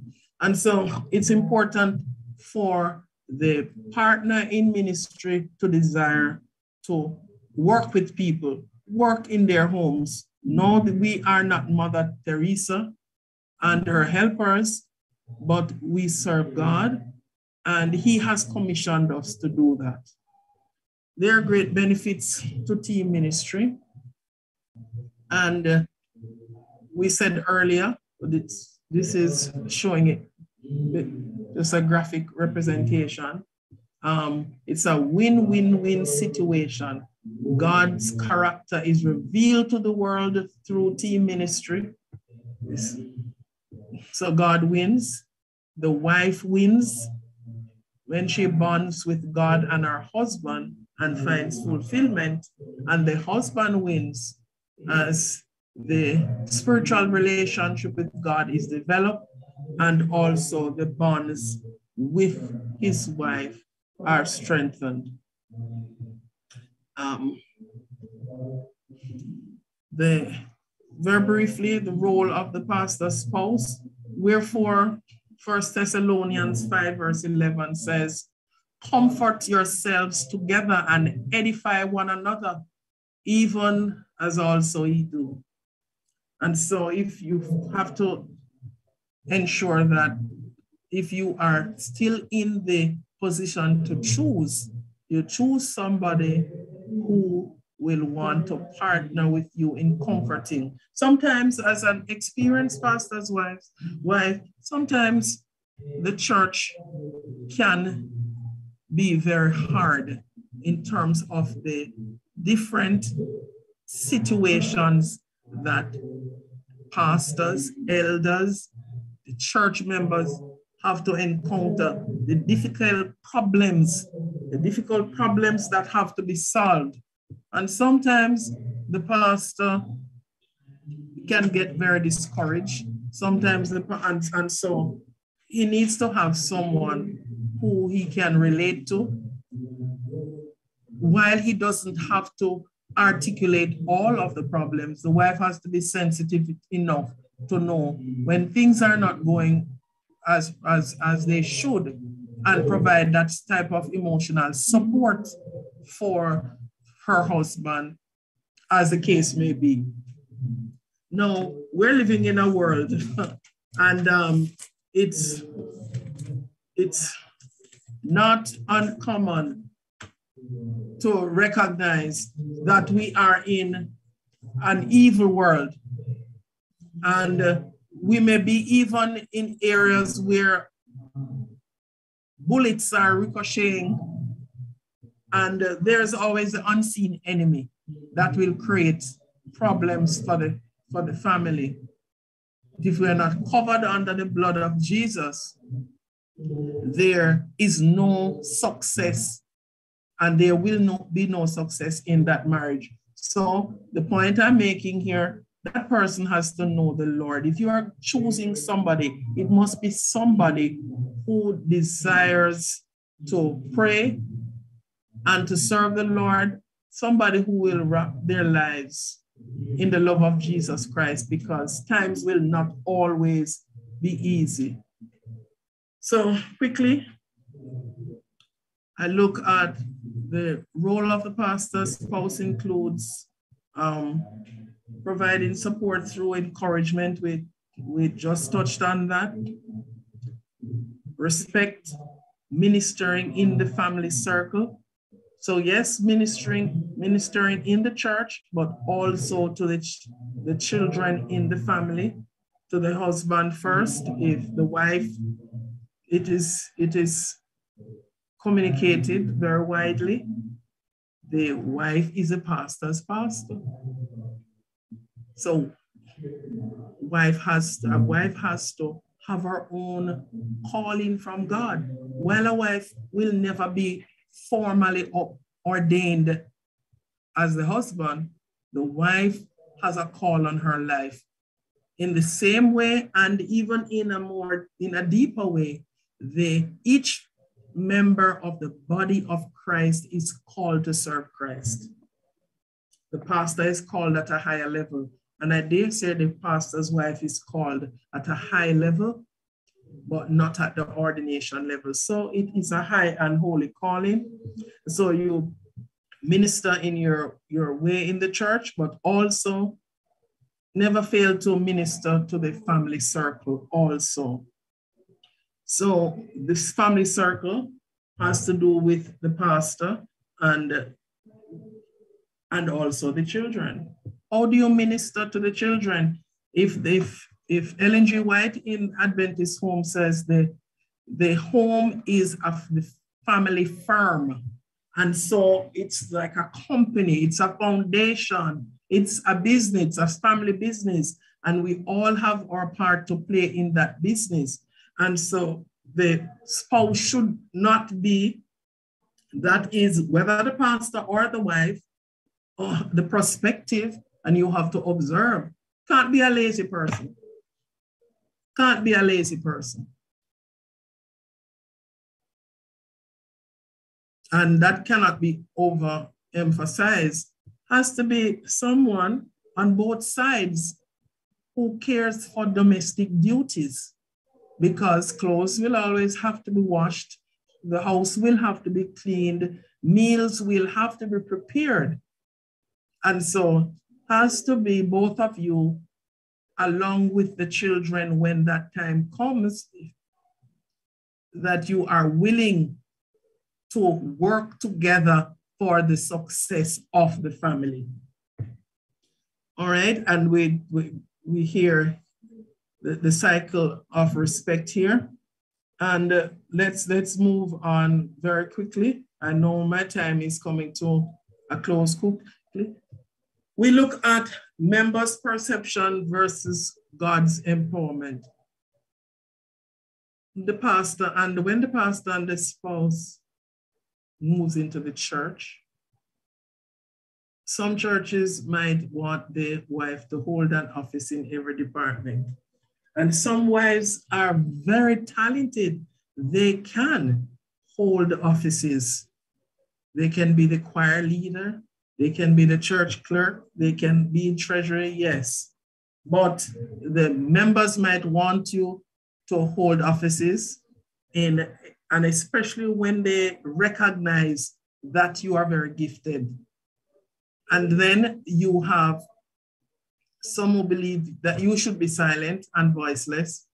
And there are also some wives who believe they should be silent and voiceless and they look on. Husbands, pastors, prospective pastors, please do not give your spouse to be the idea that she must be silent and voiceless in the church or to the other end of the continuum that they should hold every office in the church. She won't have any time for you if you have her holding all the offices. And if she feels as if she is a voiceless member of the congregation, also a voiceless member of the team, it means there are so many things that she will observe, but she won't have the confidence in giving you any information any information that could be valuable. I remember making sure that I would meet the brethren after church and I would know their no- names. So I would know their names and I would be able to tell my husband the names and I would know the families. And that was one of my specialties. I would ensure because I want to make sure that every member was met and everyone felt important. And so I love to interact with people. And so that came naturally for me. God wants us to, to use our gifts in his cause. And he gives us many avenues to serve. Some may serve from the front, some will serve in uh, a role that is not as public, but God wants you to serve nevertheless. The, um, he who finds a wife and those who are looking, you make sure you don't have to use a microscope. Just open your eyes and see. Don't go head over heels. Just open. You, you go head over heels, you won't see. You'll be rolling over and over, and then so many of the things you will not be able to, to see. So he who finds a wife finds a good thing and obtains favor of the Lord, declares Proverbs 18, verse 22. Now, I want to just veer a little bit. When we speak about team ministry, I wanted to involve the children a bit and give you a little perspective on that. It's a mixed experience for the, the children, according to my own experience and according to um, Dr. Arrais. Children can benefit greatly from team ministry. They view their parents in team ministry and they also look towards their own future lives and recognize how productive teamwork is. So even if they don't think of marrying a pastor in the future, they see the value of teaming up with a spouse in the service of the Lord. So children see God working firsthand in their parents and their lives. Children get to see God working in people's lives, um, in the church. Children get to know and meet many people that might not, they would not have otherwise come in contact with. So it is a blessing. Children are witnesses to both good and bad and learn that life is a battle between the strong and the frail, the brave and the timid. Children grow to understand that God loves everyone. And when we are serving others, we are serving Him. Yes, children come in for unhealthy scrutiny, which can overwhelm them. But, but by the grace of God, we are trying to find address your number. By the God, grace of God, the, the parents' godly examples should be able to, to um, be sufficient to, to help to bolster them into, into the faith so that they become good Christian young people. Now, as I look to, to close, the why would you want a partner in your ministry? According to John C. Maxwell, he, he says, he, he says, one is too small a number to achieve greatness. And uh, if you look historically, we like to think that there is a one man everywhere, whether in the government, in the church, there's a one man that can do many things and can make great changes. That one man I declare to you this afternoon is, is God, but he works with Jesus and the Holy Spirit. And in the context of our lives, any man who is achieving greatness has a team beside him, behind him. If he is a book writer, he has a team that helps. If he is a minister and he's successful, he has a team. There's no one man. That doesn't work. So there is a myth out there that will not carry through in ministry. It is only in the movies. Also, why, as you seek to carry on your, your role as minister, you are preparing, many of you are preparing. Remember, the goal of nurturing the church, making disciples of all men is more important. The, the goal is more important than the role. Also, remember each person in the church, in your family, in your team, as a place where they add the most value. So don't try to get your spouse to do what she is not best at or that she is uncomfortable with doing. This remember, the strength of the team is impacted by the weakest link. So both the husband and wife will want to be strong and utilize their talents. Sometimes you need a catalyst in the family, somebody who is somebody who can get things going. And remember, teammates must be able to count on each other.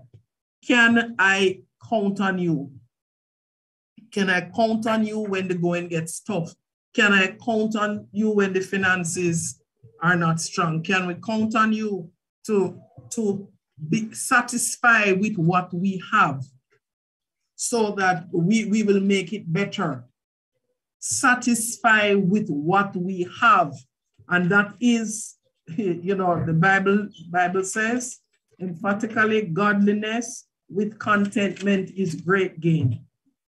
And so it must be in team ministry also. We have to teach that and we have also to practice that as we as we um, try to build team ministry and we try to make successful um, products of team ministry.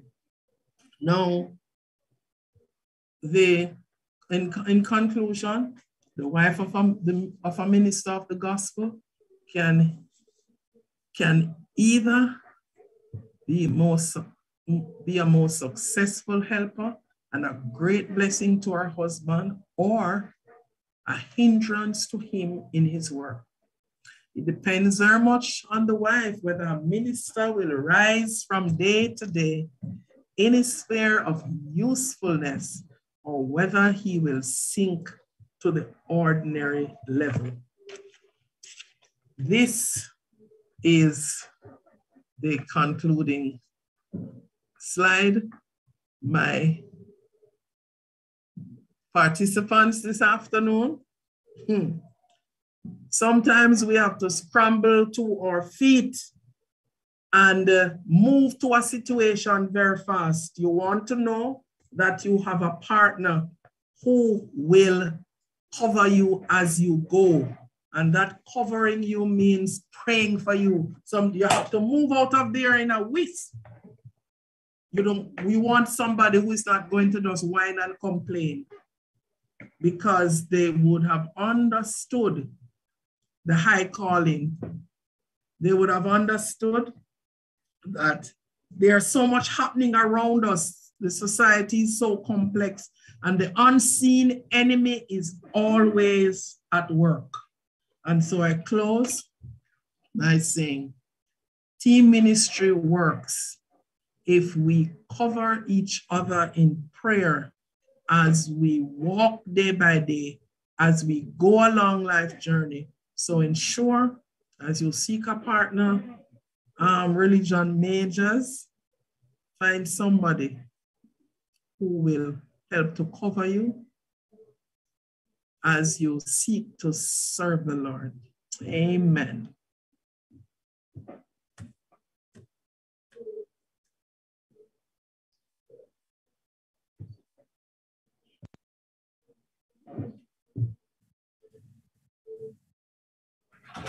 Right, all right. Thank you very much, uh, Mrs. Smith, for wonderful presentation you know, you share with us that God has set an example for team ministry, uh, a pattern for the pastor and his spouse to follow. You know, you also shared with us that they are, they are unique, and this uniqueness is to be used as a complementary um, usage in ministry. And also that, you know, you would have given us some tips, you know, uh, person in ministry, you know, who it is that they are to marry, that one, the person ought to be godly, friendly, right? Uh, not seeking the spotlight as, as you shared. And also, you know, there are two quotes that, that stood out to me. Uh, I love them. They said that if both are the same, you know, one is unnecessary and, and that was just something else. And if both are the same, you are still alone. So look at that. You know, you also share that, you know, there should not be competition within the relationship or the ministry, but rather one ought to be a completor, um, you know, of the other individual. And so thank you very much for sharing with us this afternoon. I, I have two questions so far though that I would like to, to share. And um, you know, you can you can help us in answering these two questions before we run along. along. Uh, so the first one is, and I think you touched a little on one especially. He says, what are some of the challenges and rewarding experiences that the wife faces in partnering ministry? So what are some of the challenges and rewarding experiences that the wife faces in partnering ministry? Thank you. Very good question.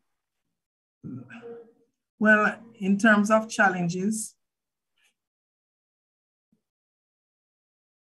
persons like to relate problems to you. People like to tell you their problems and they believe that you can solve many of them. you have to know, you have to stay in your lane though. You have to know your areas of giftedness and you have to know when to refer that particular problem. You need to know when to be quiet and just pray.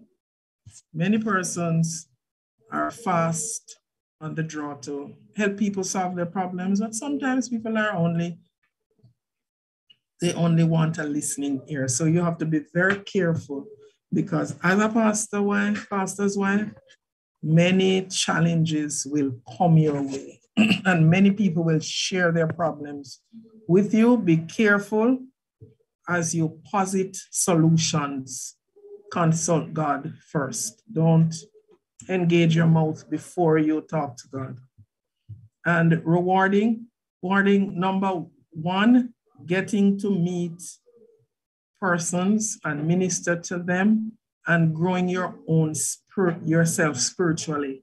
Because when you know persons depend on you, you're you have to ensure that you have a reservoir of God's grace within you and building myself spiritually has been um, something very positive for me as a pastor's wife. I hope that answers you. Right. Thank you very much. Thank you. Thank you very much, uh, Mrs. Smith, for, for that. And I just asked the second one. So I'm not only seeing two so far. I just asked the second one. And it says, there seems to be a growing tendency for the absence of wives in pastoral ministry. If this is so, um, what may have been the cause? So there seems to be a growing tendency of for the absence of wives in pastoral ministry. And he says that if this is so, what may have been the cause? Somebody puts us put in the chat, interesting question you say it seems to be, and you're asking me what is the cause. Let me just assert emphatically that I've always been with my husband.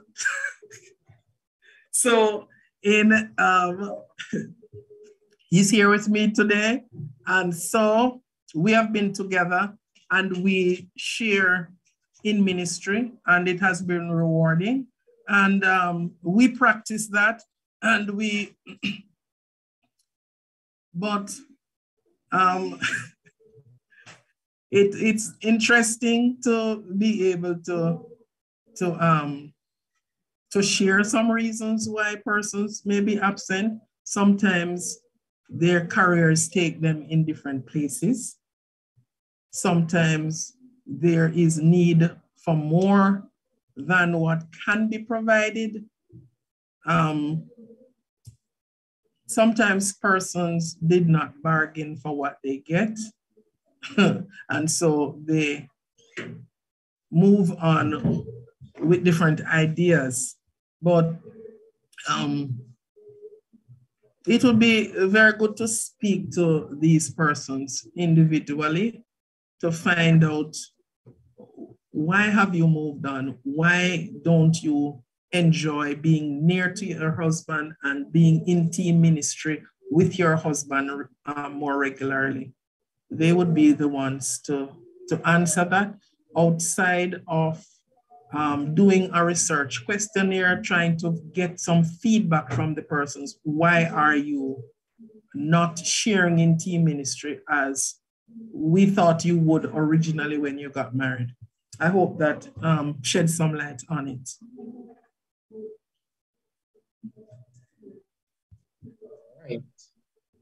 Thank you. Thank you very much, uh, Mrs. Smith, for, sharing in these questions. And again, we thank you very much for your presentation. And the feedback has been good. It says lovely presentation, wonderful presentation. And once again, we thank you for taking the time out to be with us this afternoon. And we know that you have uh, another presentation, um, you know, to attend. And we are so grateful for the team ministry, team, you know, yourself and Dr. Smith, as you may be hearing me at this time as well. So thanks again, and may God bless you as you continue to work in God's vineyard to win souls for the kingdom of God. Oh, here he is in the background, man. all right, all right, all right. Thank you very much, and God bless you. And all God bless you too, and um, have a successful program. Thank you. Thanks. So we now move on as we'll be having a song as we transition into our next presentation.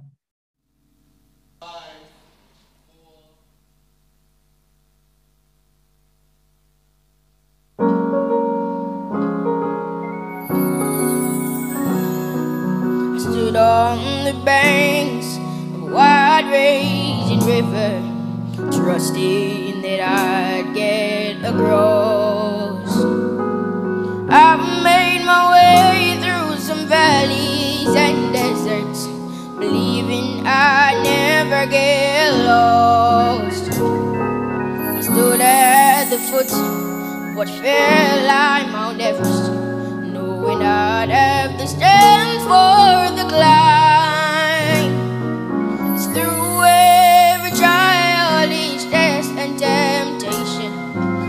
one thing that is sure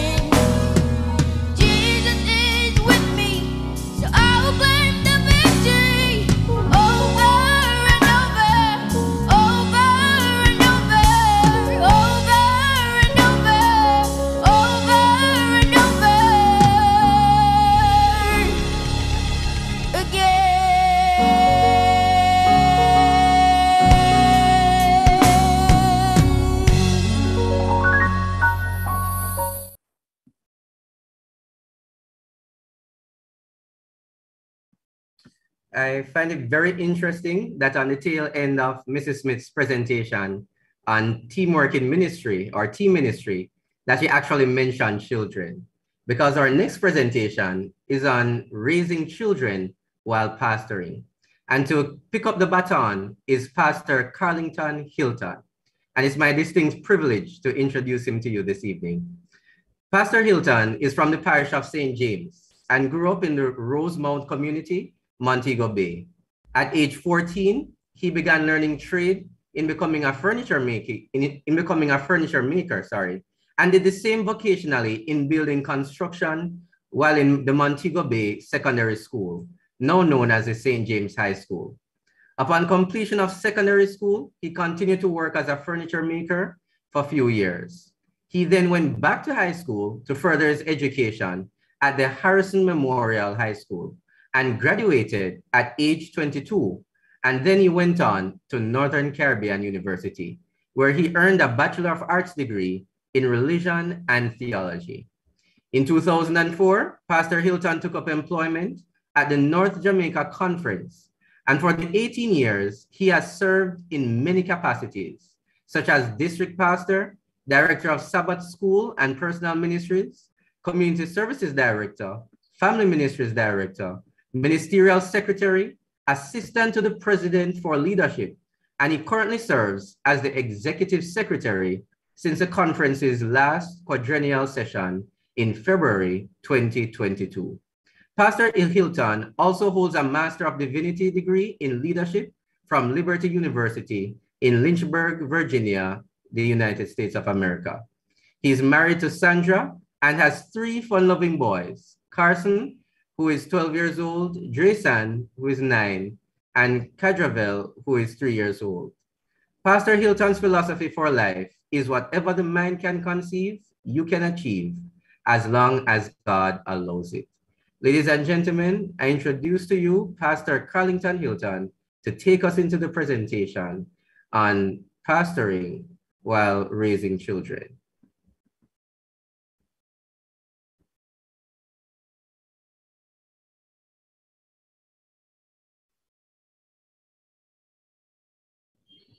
All right, so thanks again, Rashim Smith, for making that introduction. I am pleased to be here this afternoon. I happen to be here a little listening to Sister Smith's presentation, and indeed I was blessed. I am not Let me put it the other way.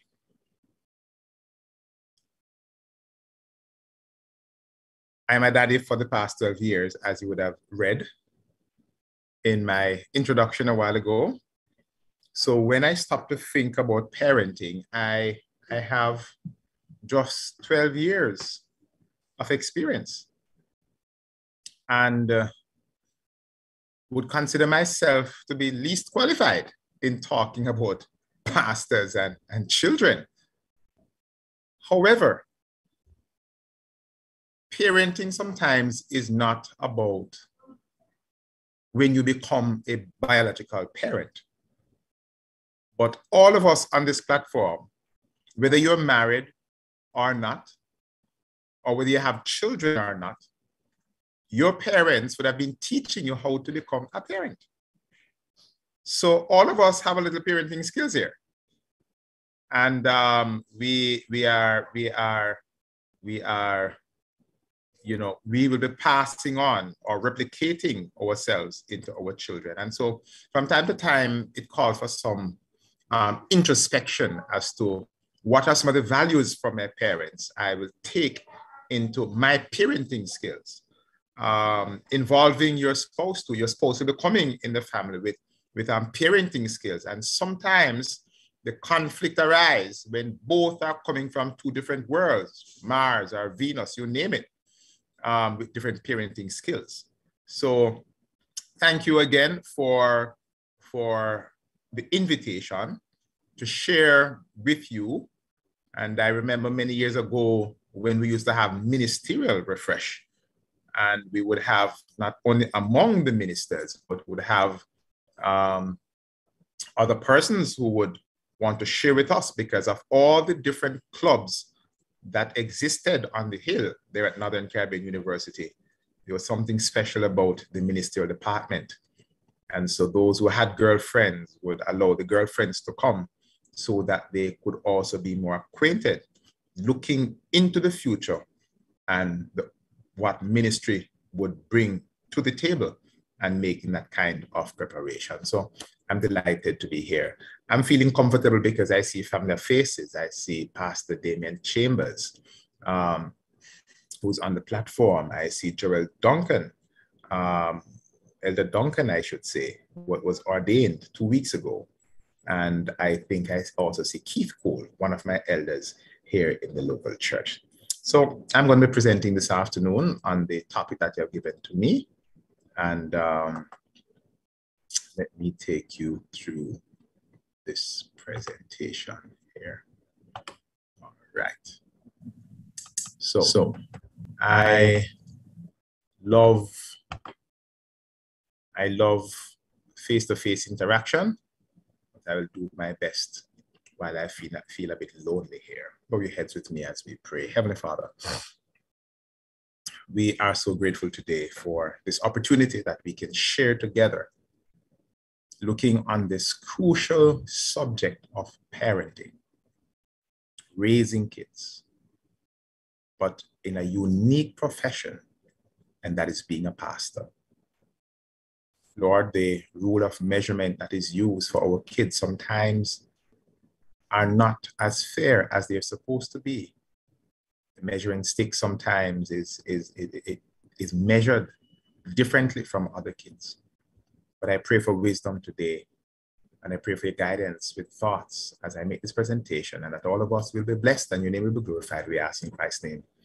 We say amen.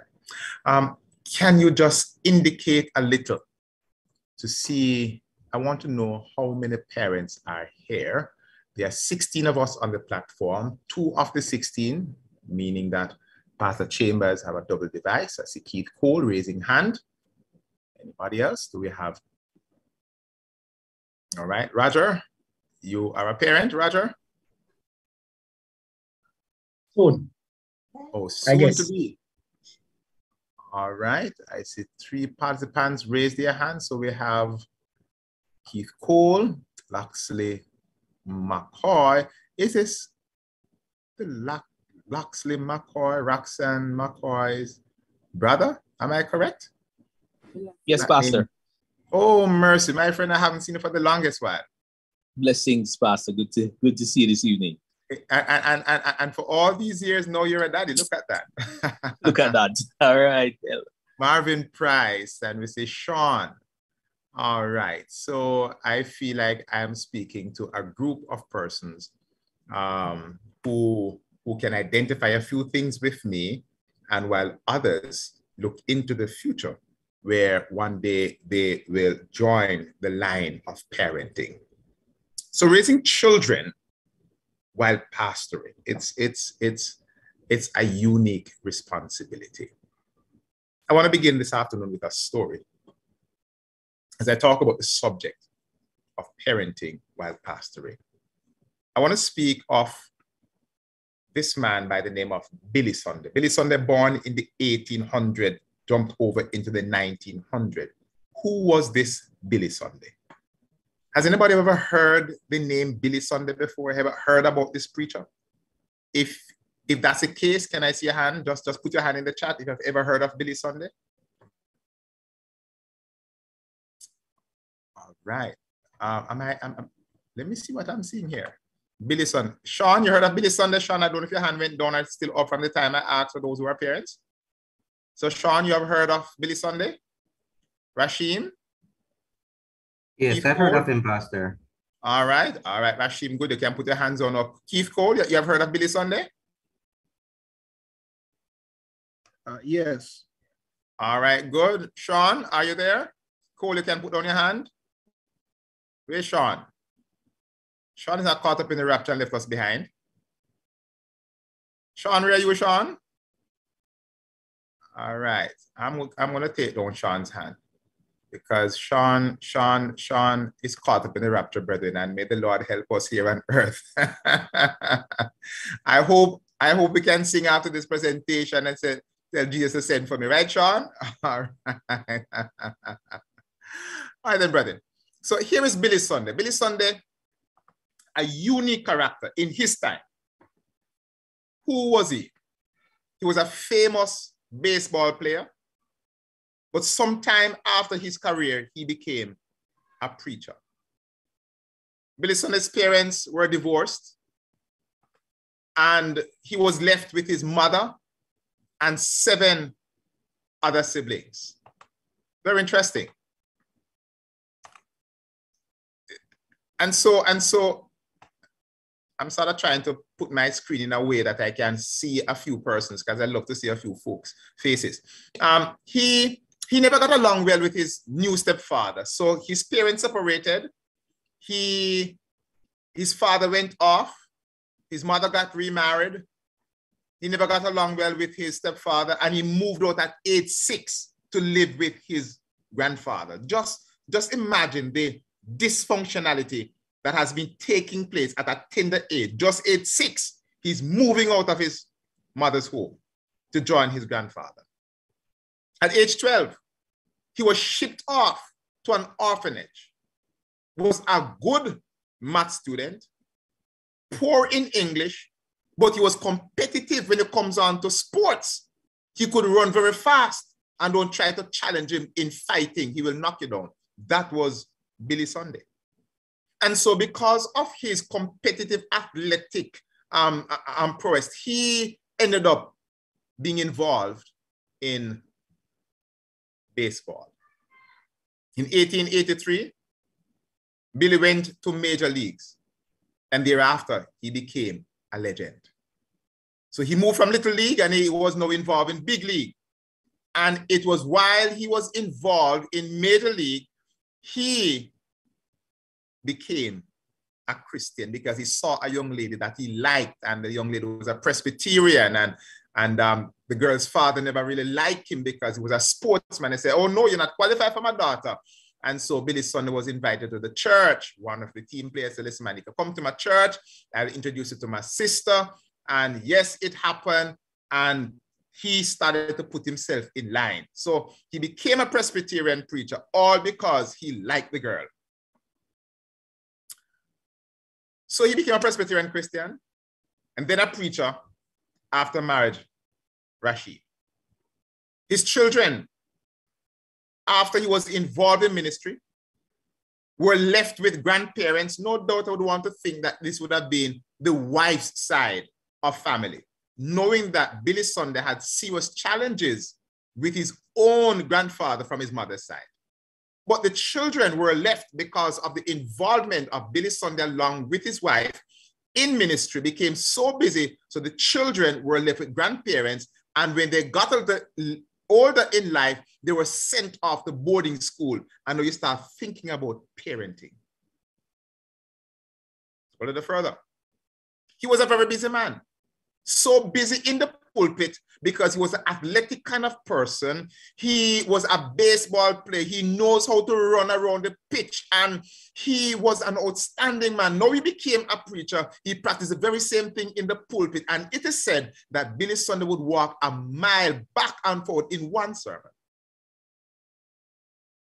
Just imagine how energetic he was. He had big dreams to cover approximately 20% of the town's population wherever he preached. So it's very ambitious. So think about a Kingston or a Mandeville or a Trelawny or a Montego Bay, wherever you were from. He believed that if he got the opportunity to go into a city, he must baptize approximately 20% of the population. This man was on a mission. In Philadelphia, holding public campaign, up to 70,000 came out to listen to him preach. Now, you and I wouldn't mind if, if we can get this kind of audience with the three angels message to preach. 70,000. We have never seen anything like that until we have footprints of hope the other day. Media. In 1933, his oldest son by the name of Gregory. And I'm very happy as I welcome Dr. Gregory, my very, very good friend. I'm not talking about Dr. Gregory. You know, Dr. Gregory is my very good friend. I, I just learned uh, just, just Thursday, Dr. Gregory, that you're back with us. And I'm so pleased. No doubt I'll be calling you.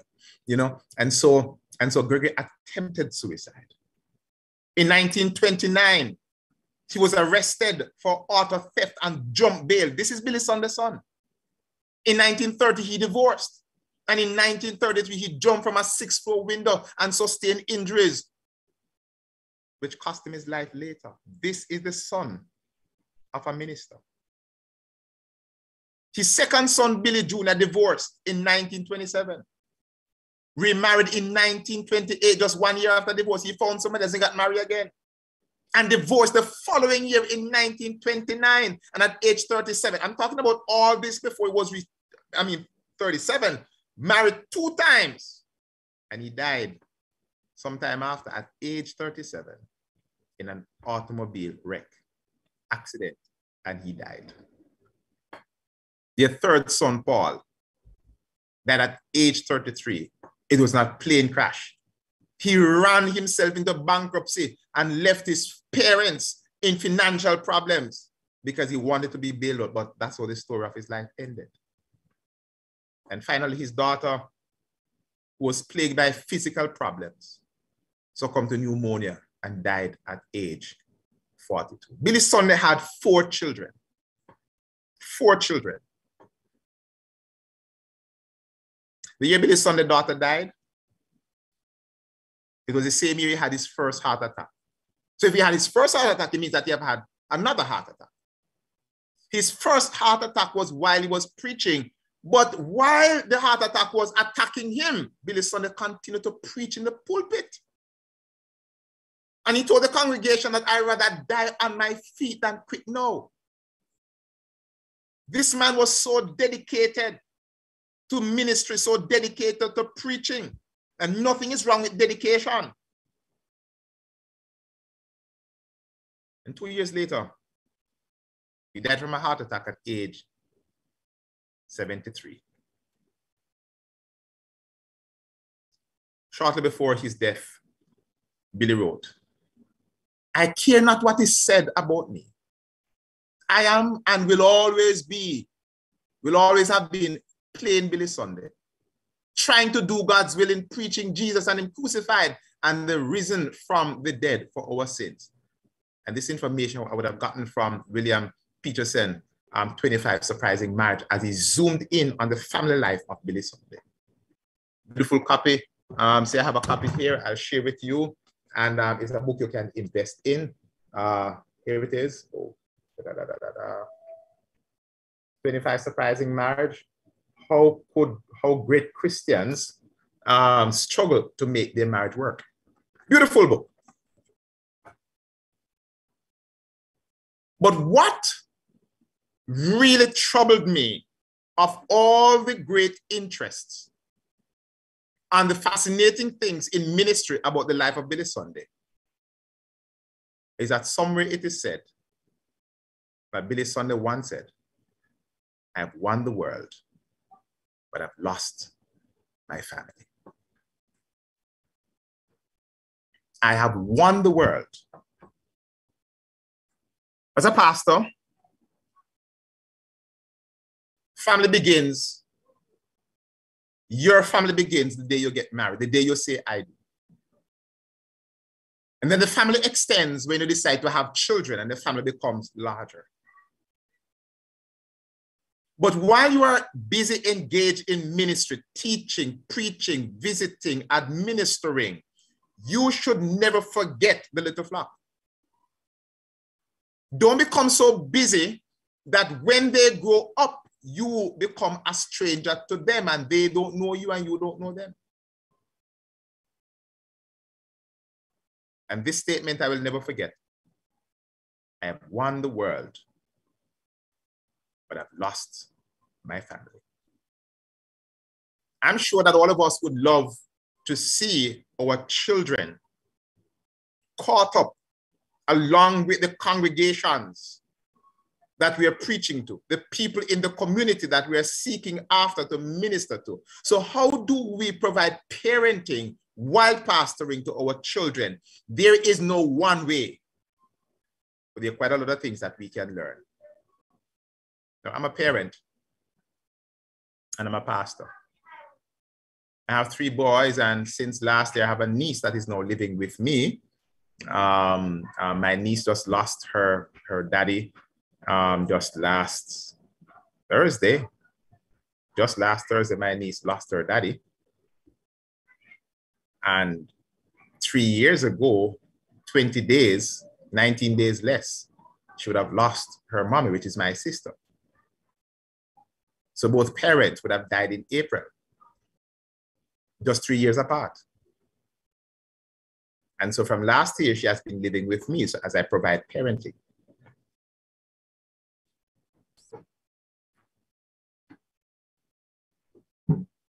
And so as I stop to think about the topic,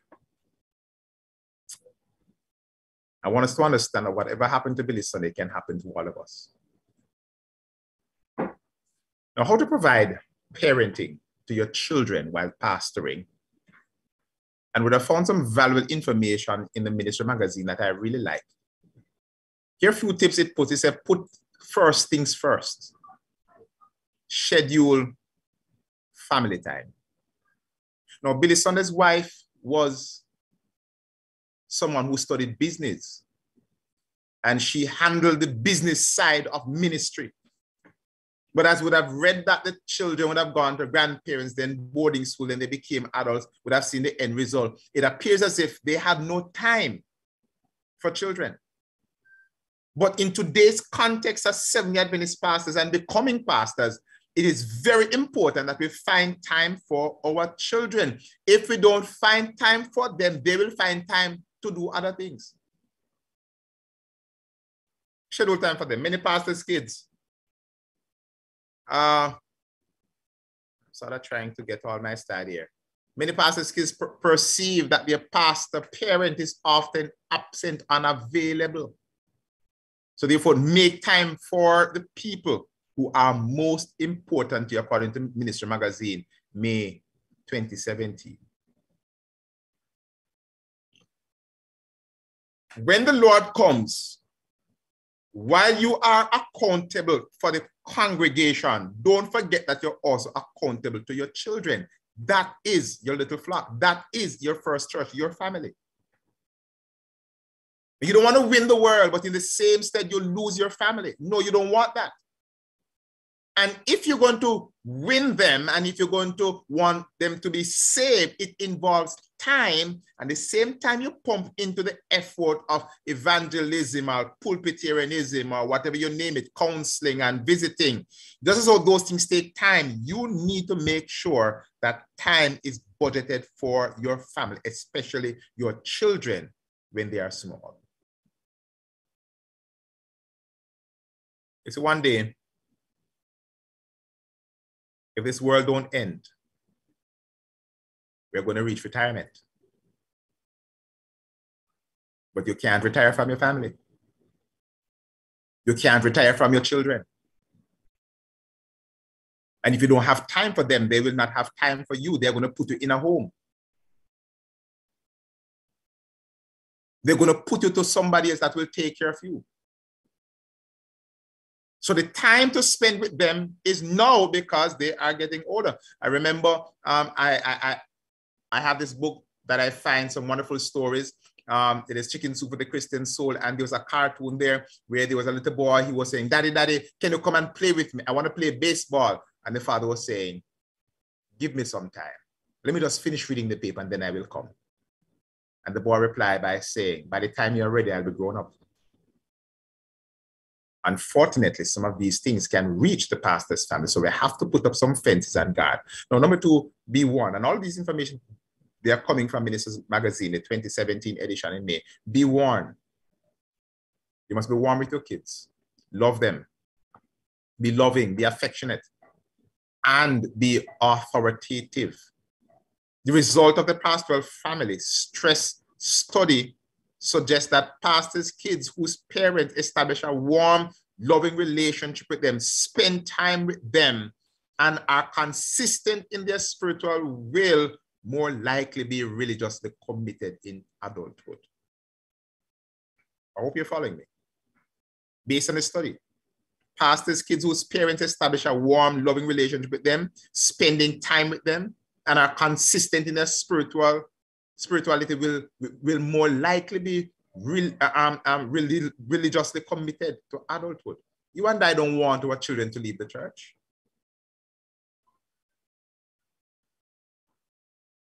We have to get our kids, kids to be involved. Sometimes we are pastors with, with um, multiple congregations and we run from one congregation to another congregation and other kids are being involved and because we're so busy, they are not involved. And what some ministers do, some ministers would say, listen, family, we have to decide on which church we are going to go. I tried that and I, I have difficulties because my kids want to go wherever I go. But I still remember training a child in the way they're supposed to go. So when they get old, they will not depart from it. So I'm trying my best to see how best I can work this thing out. Because they don't want to stay anywhere. They want to come with me. And so whenever the opportunity arises, I try to get them to be involved. I try to spend time with them. You know, my son who is 12, he said to me the other day, we're planning to be on a mission project. And I said, the possibility lies that this, this mission project that we're going um, on, they may want to ask you to preach. And, um, you know, would you like to be involved? And he said to me, Daddy, don't answer for me. Let them ask me. He's only 12. But he's basically saying, listen, I want to have an independent mind to make my contribution. Nothing is wrong with that in my thinking. I know he will not say no, but he's saying, don't answer for me when they ask if I can preach. Let them come to me and ask me. So let us love them. Let us be warm. Let us not be somebody else in the pulpit and a different person at home. Because your children know the real person that is in the pulpit. You can't fake it. You can fake it with the congregation, but you can't fake it with them.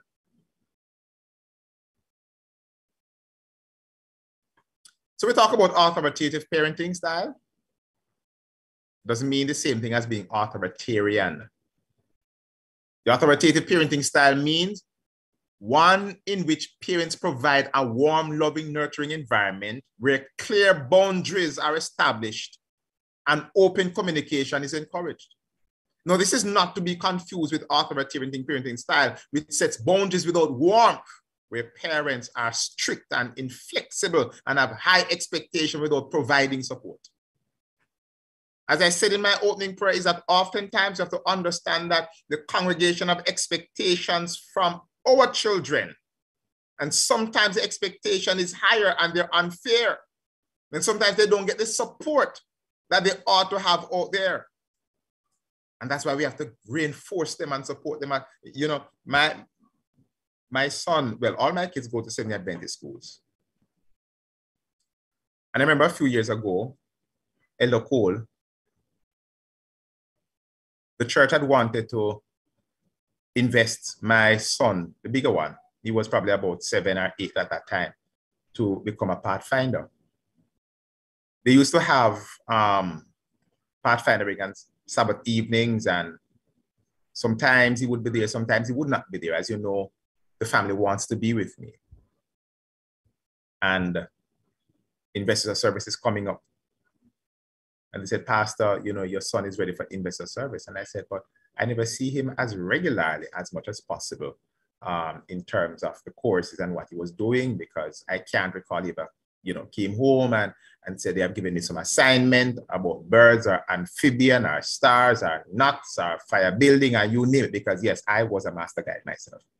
But I never, I can't recall him coming home with any assignment for me to assist him or to work with him. And um, others were going through. And I said, honestly, let me talk with him first so we're asking what is pathfindering? Because pathfindering is all about helping boys and girls to have a more committed relation with Jesus and, getting, and he couldn't answer that.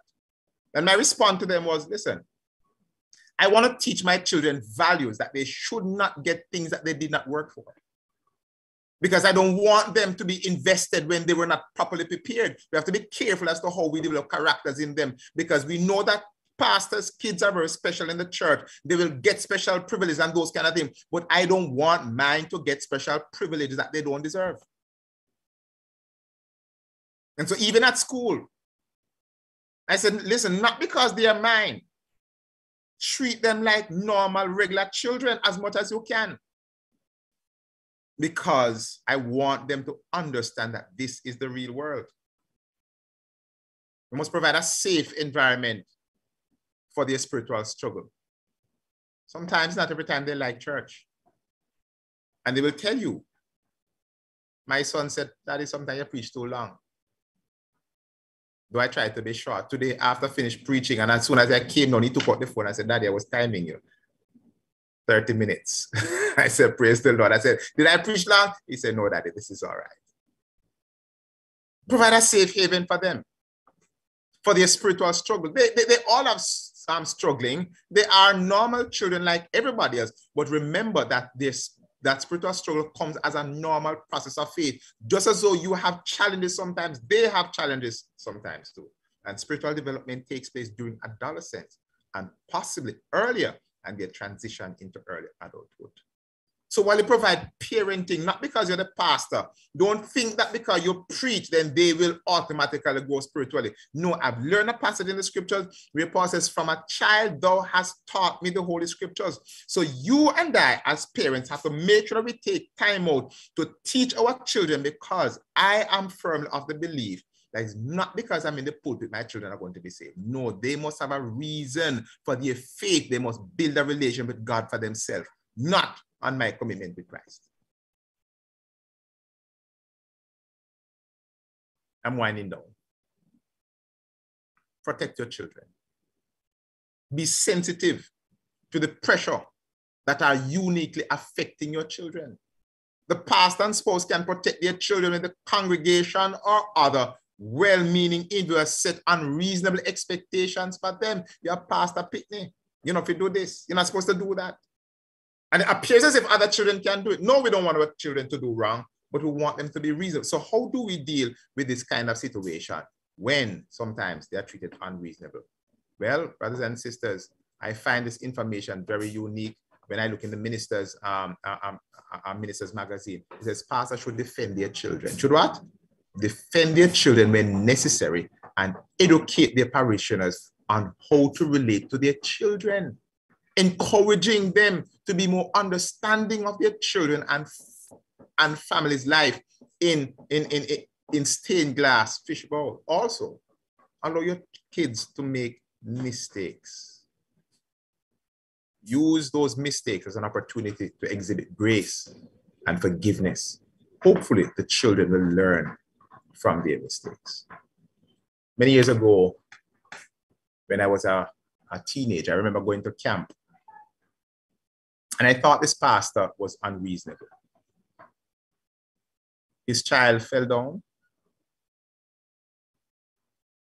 And I remember because it was a pastor's child, rushed over to take up the child. And the pastor said, uh uh let him get up by himself. And I thought that was unreasonable. But then the pastor got the opportunity to share the reason why he does that. He said, listen, I want my children to understand that wherever they fall, they must rise. And he said, he said, whenever his kids fall, he knows when they can get up and when they can't get up.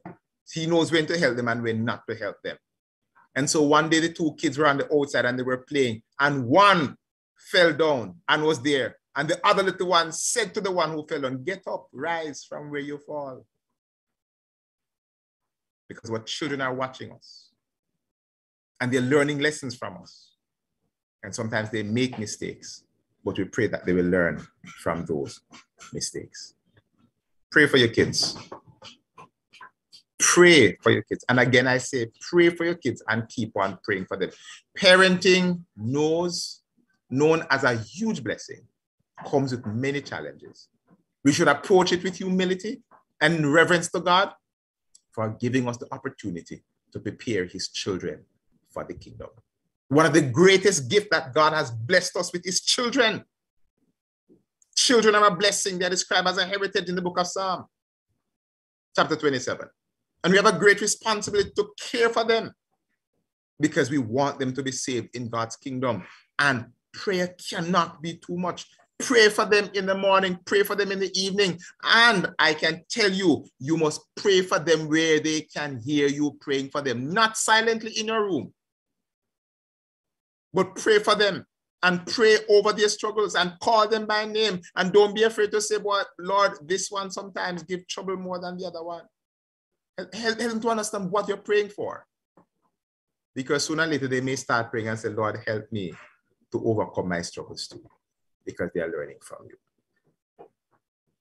Finally, in the book Child Guidance, Ellen White wrote, he says, build a fortification of prayer and faith around your children and exercise diligent watching thereunto.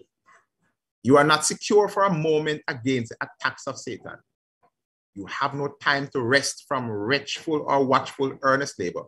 You should not sleep a moment at your post. Let me tell you, ministers, if there are any children that the devil loves, it's your children. He loves them faithfully. He don't want them to be saved. He don't want them to be an agent of change wherever they go. The devil wants them to fail. But when you present them to the Lord as parents and understanding their needs and, and meeting their needs and be a loving father and loving mother and be warm towards them and presenting Christ, there is no one way of parenting. And so, and so, and so you have to guard against and, and, and speak with your spouse. As I said, both of you are coming together as parents with two different parenting style and sometimes you can clash over parenting style as to what is supposed to be done and what should not be done Take it to the Lord in prayer. And the Lord can guide you. That you will both do what is right in the sight of God and for the growth and development of your children. So many more could have been said, but you've been sitting here for quite some time. Young pastors, pastors in the making, thank you for having me. And may God bless you. And remember, don't be like Billy Sunday, who said, I've won the world, but I've lost my family. God bless you.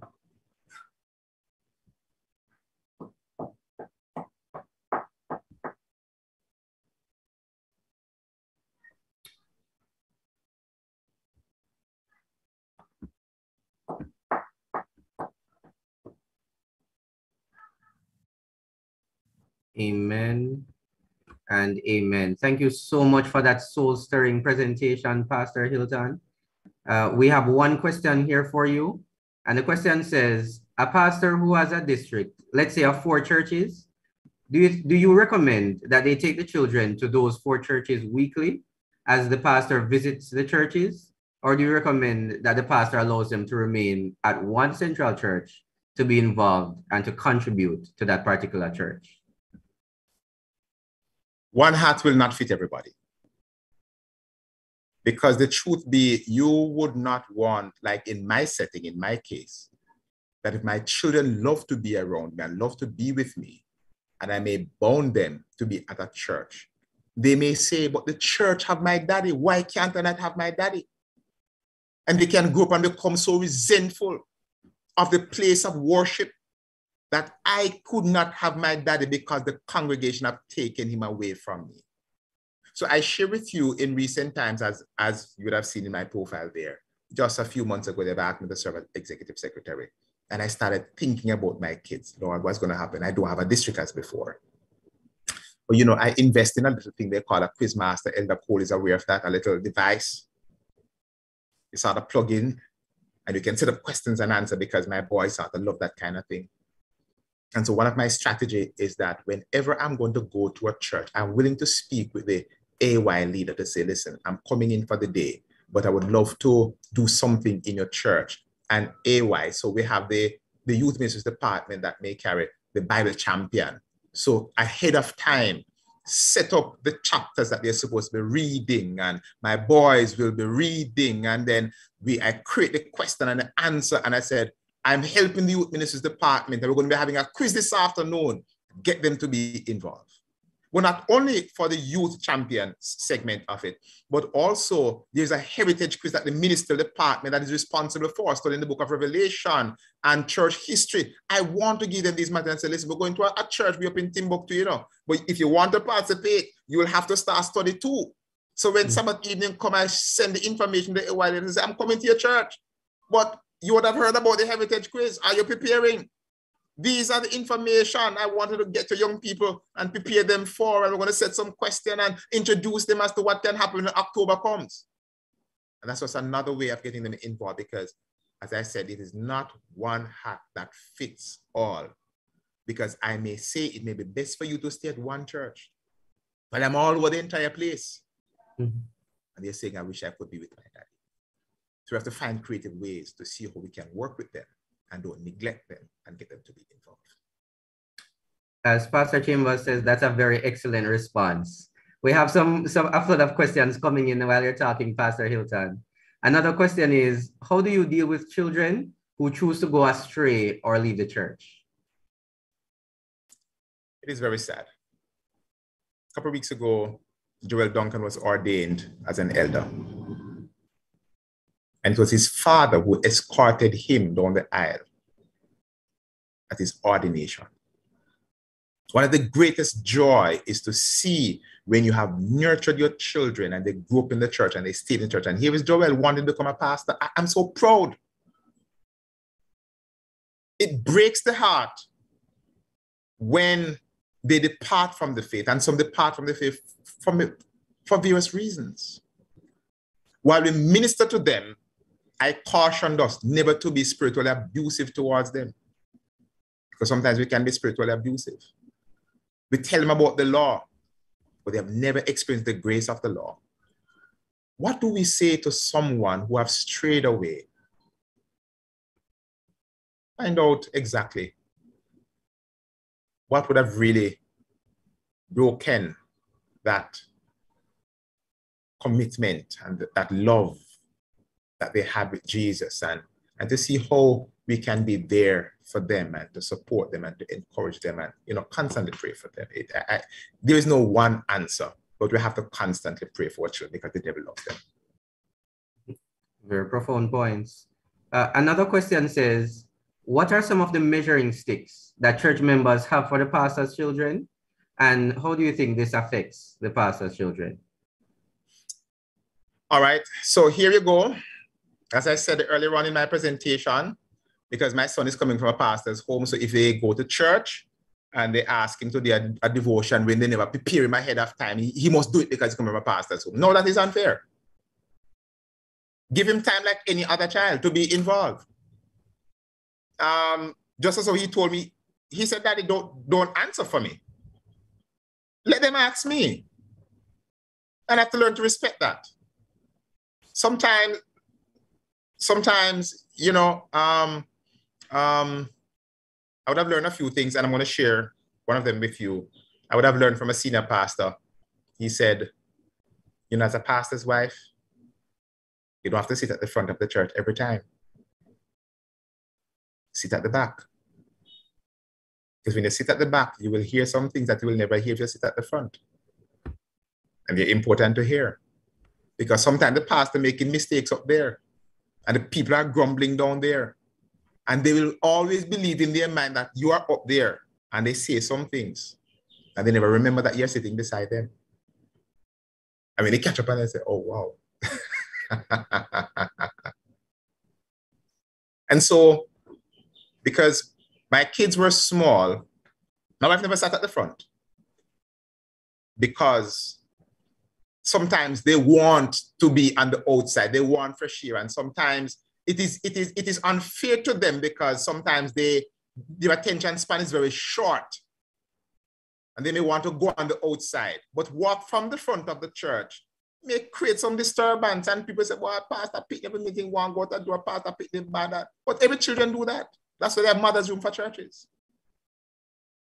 And so, and so, you know, if they are becoming unsettled or unruly, if you want to say, or you know, um, um, becoming restless, you just slip at the back and you walk. Them on the outside and they get cool breeze and you know you take them back on the inside and and and sometimes people will just think that as far as a picnic picnic bad but whatever children do it you know um talk with them at home talk with them at home. Um um you know yeah but but sometimes the measuring sticks they are they are they're, they're unreasonable just as so pastors wives there's a book i have what what no one says to pastors wives they have the expectations them things that because your pa, your spouse should be able to sing, should be able to preach, but, but, but God give different people different gifts. That may not be your spouse's gift. So they must not be unreasonable. you know? Amen. And I think a follow-up question, sometimes because of the unrealistic expectations, Pastor, there might be a temptation to be extra tough on the children. How do we, as pastors, resist that temptation? to be extra strict with our children? You know, brethren, be real with your kids. Parenting begins at home, not at church. And talk with them.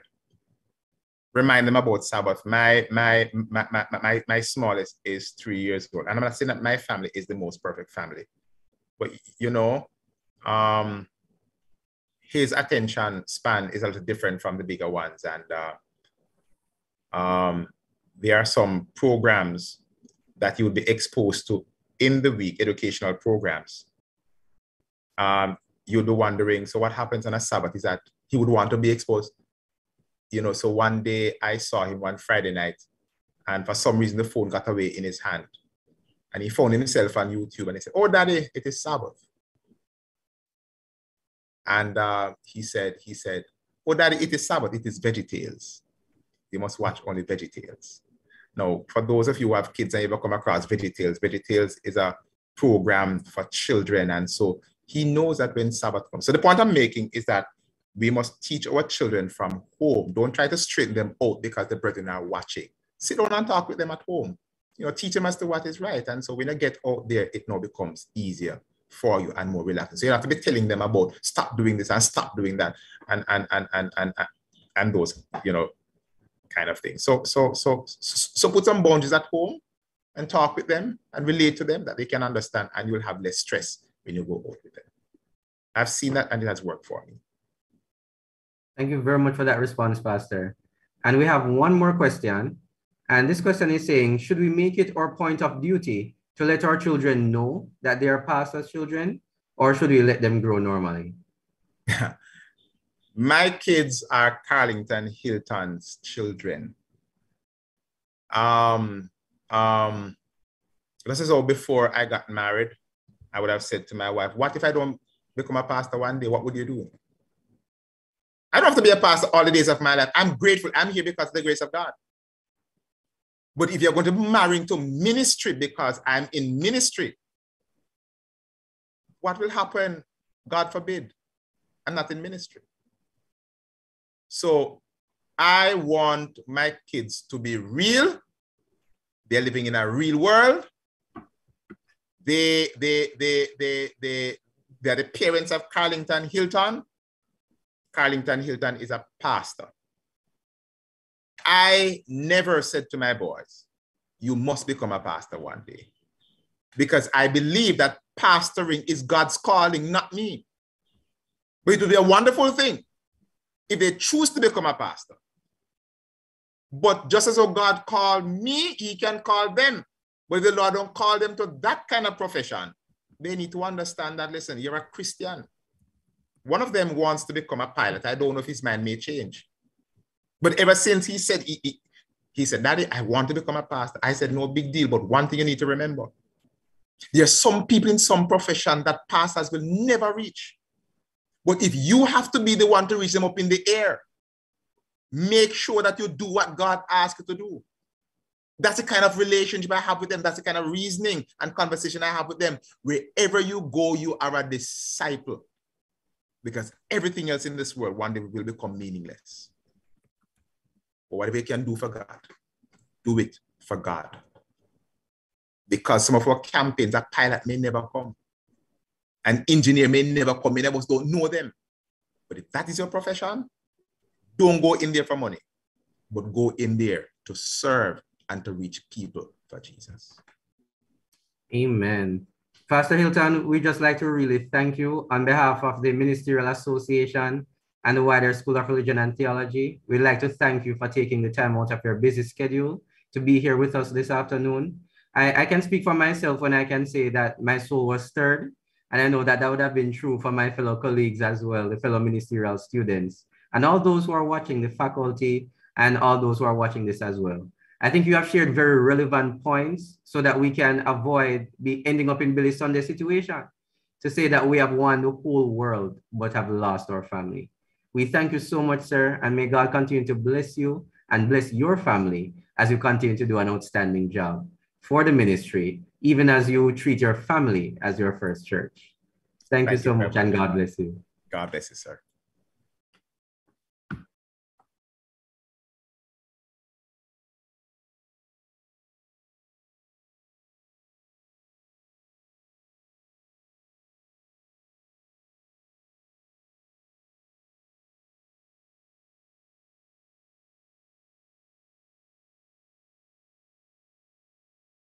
Right, so I'm just joining in with um, Ryan in sending special thanks to Pastor Hylton for a timely presentation. Uh, though I'm not hearing at this time, but of course I would have garnered gems that will help me in the future, you know, God's willing. Right. So Thank you again uh, very much, Pastor. And God's blessings upon you and your ministry. And, um, you know, definitely we keep in touch as well and such as school.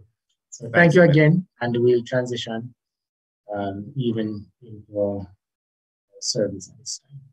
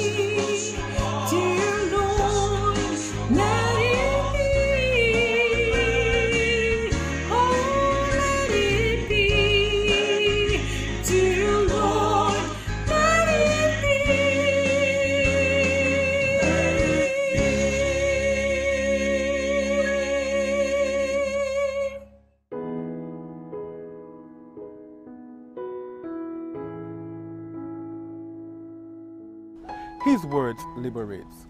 Imagine living in a world where there's nothing but frogs. Imagine going to your kitchen and there's nothing but frogs. Imagine going to your living room to watch your favorite program and there's nothing but frogs. Imagine going to your bathroom and there's nothing but frogs. Imagine going to your bedroom and there's nothing but frogs. Well, such was the case of the mighty man Pharaoh. Hmm, the word of God came unto Moses, saying to Pharaoh, Let my people go. Hmm. But Pharaoh refused to do this.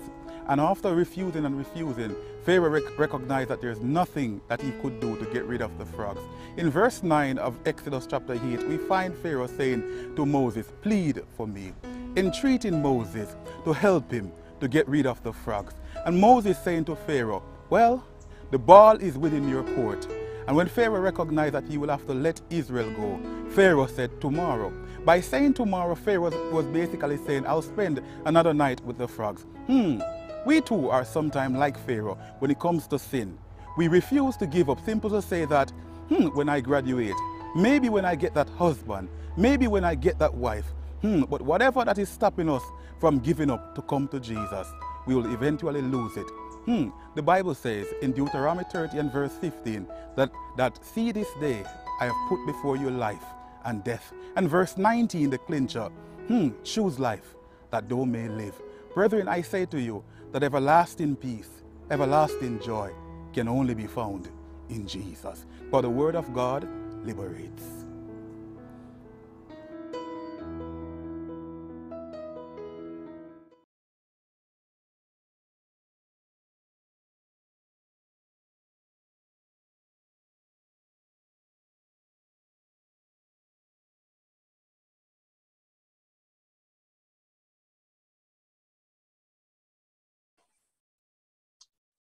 Greetings and good evening, everyone. All right, it's now time for our Vesper service, song service. Song service.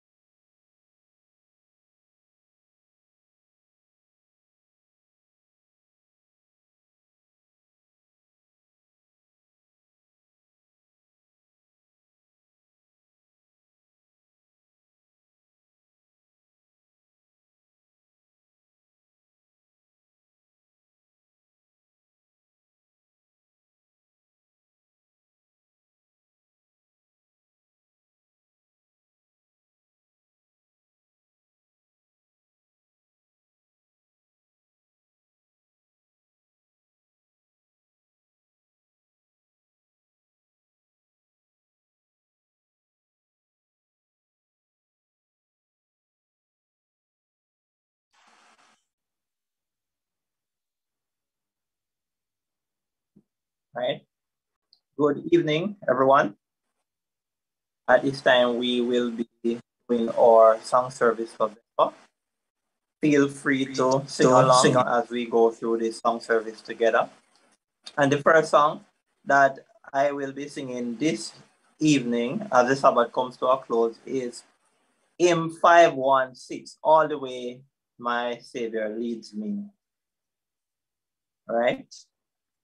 All the way my Savior leads me. What have I to ask beside?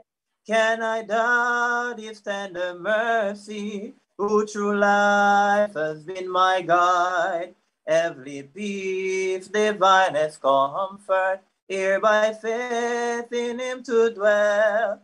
For I know whatever befalls me, Jesus doeth all things well.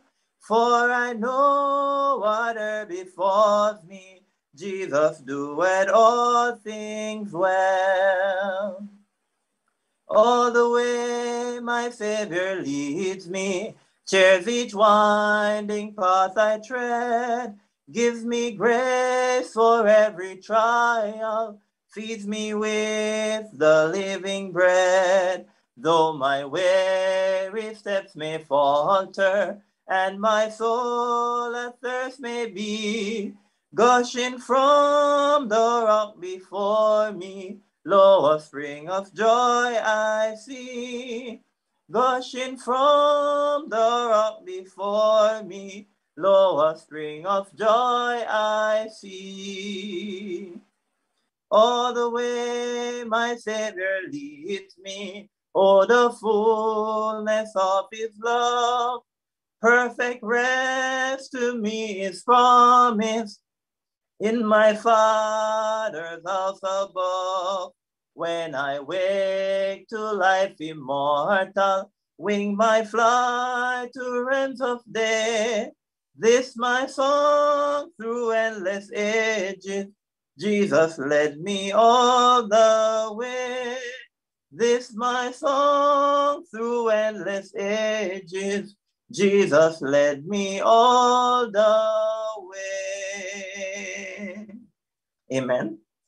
Right. So the second song, song that we will be using is in 515. The Lord is my light. The Lord is my light. The Lord is my light, then why should I fear? By day and by night, his presence is near. He is my salvation from sorrow and sin. This blessed persuasion the Spirit brings in. The Lord is my light, my joy and my song. By day and by night he leads me along. The Lord is my light, my joy and my song. By day and by night he leads me along. The Lord is my light, the clouds may arise, faith stronger than sight looks up to the skies, where Jesus forever in glory doth reign. Then how can I ever in darkness remain? The Lord is my light, my joy and my song. By day and by night he leads me along. The Lord is my light, my joy and my song. By day and by night he leads me along. The Lord is my light, the Lord is my strength. I know in his might I'll conquer at length. My weakness in mercy covers with power, and walking by faith he opposes me each hour. The Lord is my light, my strength, my joy and my song. By day and by night he leads me along. The Lord is my light, my joy and my song. By day and by night he leads me along. The Lord is my light, my all and in all. There is in his sight no darkness at all. He is my Redeemer, my Savior and King. With saints and with angels, his praises I sing. The Lord is my light, my joy and my song. By day and by night, he leads me along. The Lord is my light, my joy and my song. By day and by night, he leads me along. Amen. All right, at this time, we will sing our last song for this evening, our final song, and it is hymn 318, Whiter Than Snow. Lord Jesus, I long to be perfectly whole. I want thee forever to live in my soul. Break down every idol, cast out every foe. Now wash me and I shall be whiter than snow. Whiter than snow, yes, whiter than snow. Now wash me and I shall be whiter than snow. Lord Jesus, look down from thy throne in the skies and help me to make a complete sacrifice. I give up myself and whatever I know. Now wash me and I shall be whiter than snow. Whiter than snow, yes, whiter than snow. Now wash me and I shall be whiter than snow. Lord Jesus, for Lord Jesus, for this I most humbly entreat. I wait, blessed Lord, at thy crucified feet. By faith for my cleansing, I see thy blood flow. Now wash me and I shall be whiter than snow. Whiter than snow, yes, whiter than snow. Now wash me and I shall be whiter than snow. The last verse now. Lord Jesus, thou see, yes, I patiently wait. Come thou and within me a new heart create. To those who have sought thee, thou never said no. Now wash me and I shall be whiter than snow.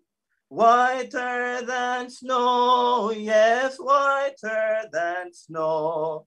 Now wash me and I shall be whiter than snow.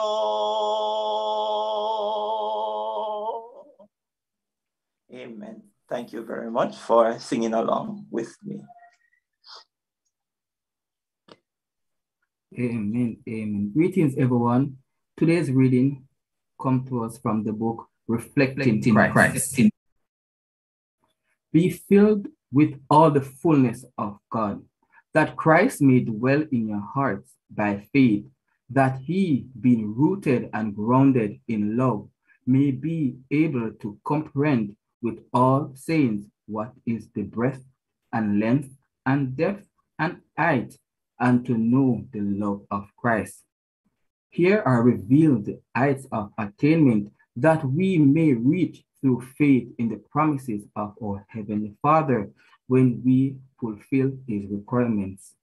Through the merits of Christ, we have access to the throne of the infinite power.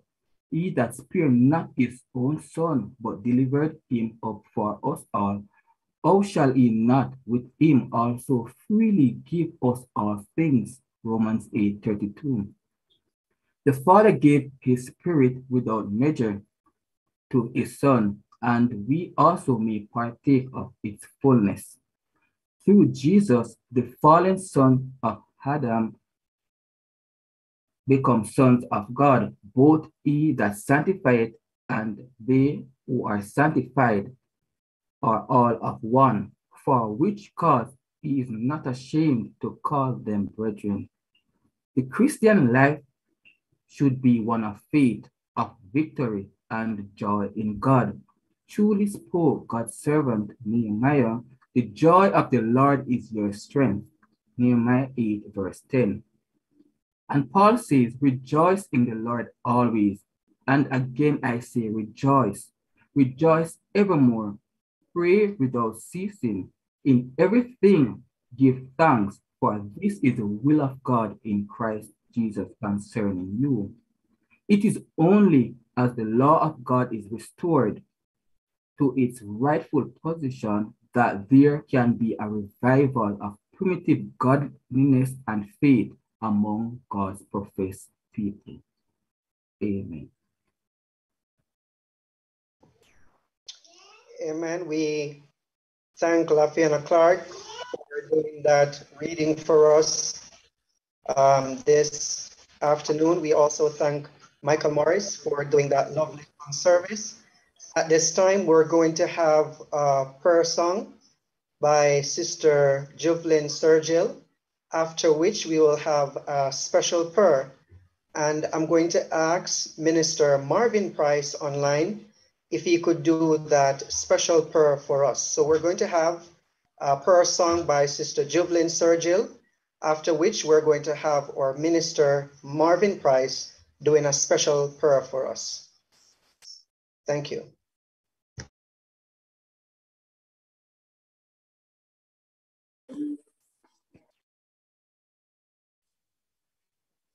We're going to sing um, the choir course.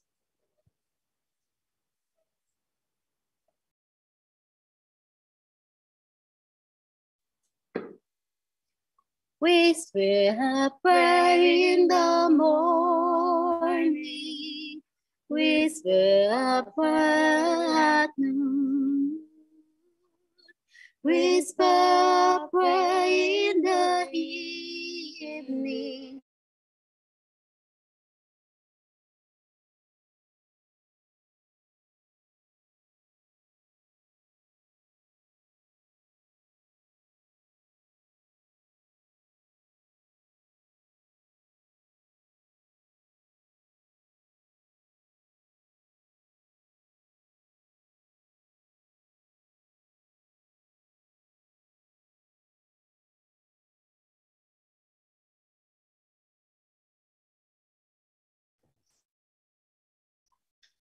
All right, realize we're having some technical issues right there with Jublin Sergil.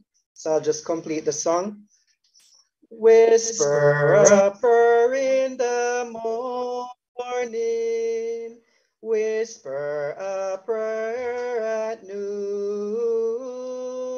Whisper a prayer So keep your hearts in tune. Jesus may come in the morning. Jesus may come at noon. Jesus may come in the evening. So keep your hearts in tune. At this time, we'll have the prayer by Marvin Price. Good afternoon, everyone. Let us pray.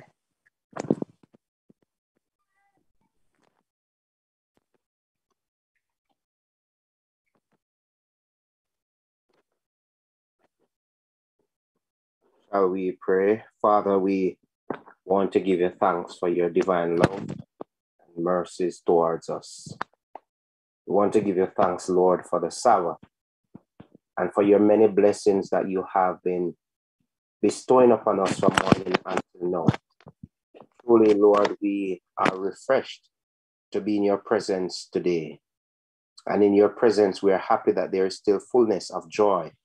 And at your right hand, we are still experiencing pleasures forevermore. In a special way, Lord, as we would have set aside this time to seek you and to hear from your many servants that you have equipped, share with us over the this weekend as to how we can be better grounded in the call to which you have called us. We ask of thee, Lord, even now, that for each worshiper, each one who would have shared in some aspect of this weekend, that you will anoint us with the anointing of your spirit. Grant us, Lord, not just the ability to hear, but that to act upon the instruction, the information that you have shared with us. Father, we pray that as you prepared us as men to go out there in the ministry, that Lord, we will seek to avail ourselves to you in such a way that the work to which you have called us to do will be accomplished. Your name will be glorified, and we will be drawn closer to your soon coming. Continue, Lord, to direct us as your children. And may when time on earth would have come to its end, and eternity shall have put in its appearing, may it be there, Lord, that it will be our joy and delight to know that we are going home to be with you our God and King. Continue to lead, guide, and instruct. In what I fail to ask of thee, I pray that thou in thine infinite mercies and wisdom will grant unto us as your children, as you see fit, we pray. In Jesus' name, amen. Amen. Thank you so much, uh, Marvin, for, For that, that lovely, lovely prayer.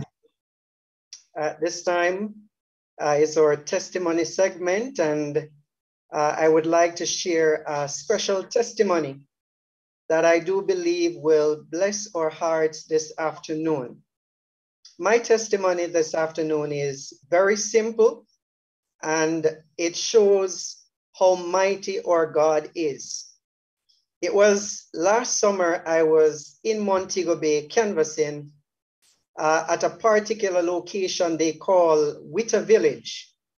And for those who are canvassers who are from Montego Bay or who have canvassed in Montego Bay before, you would understand that Whitter Village is a place that accommodates tourists. And so it's a very fruitful area. And I was located there for the summer doing some canvassing.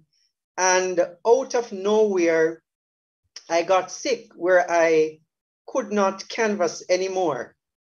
Uh, but before I got sick, God would have made preparation for my tuition. You didn't hear me. I said, before I got sick, God would have made preparation for my tuition. I met one lady while canvassing before getting sick.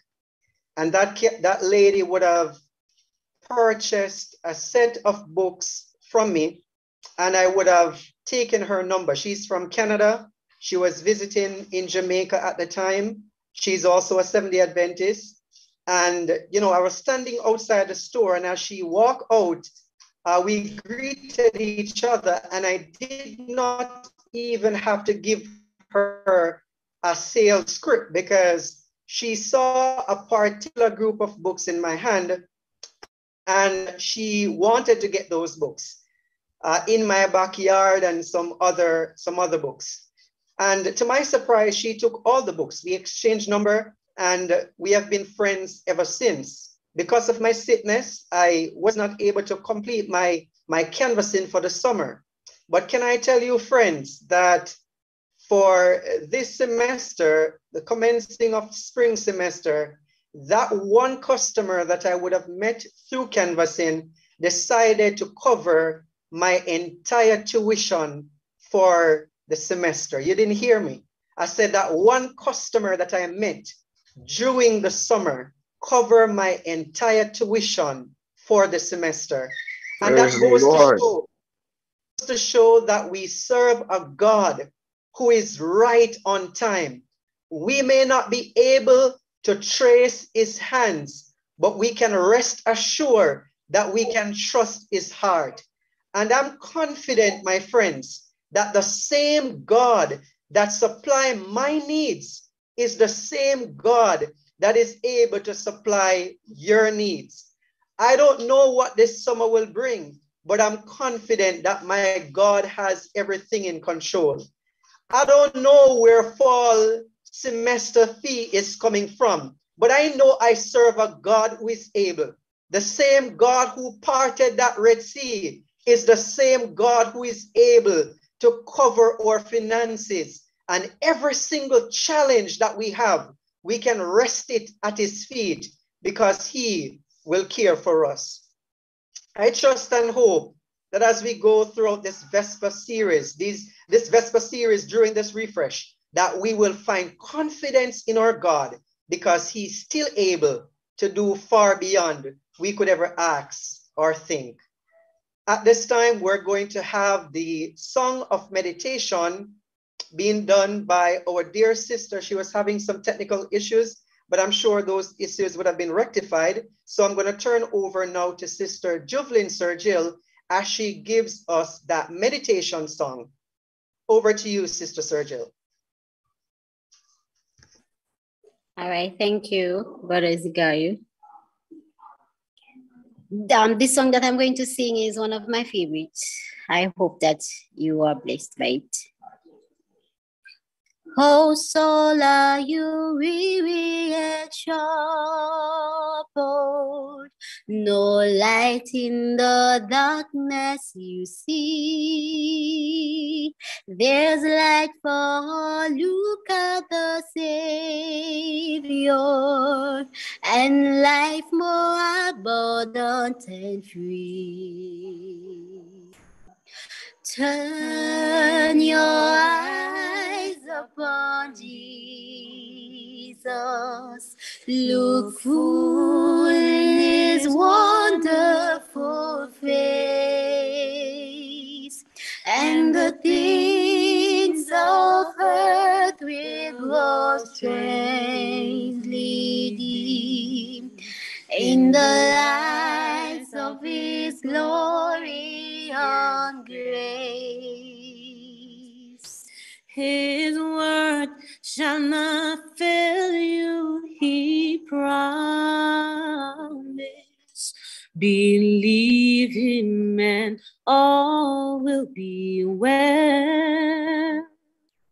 Then go to a world that is dying. His perfect salvation to tell. Turn your eyes upon Jesus. Look full in his wonderful face, and the strangely dim in the light of his glory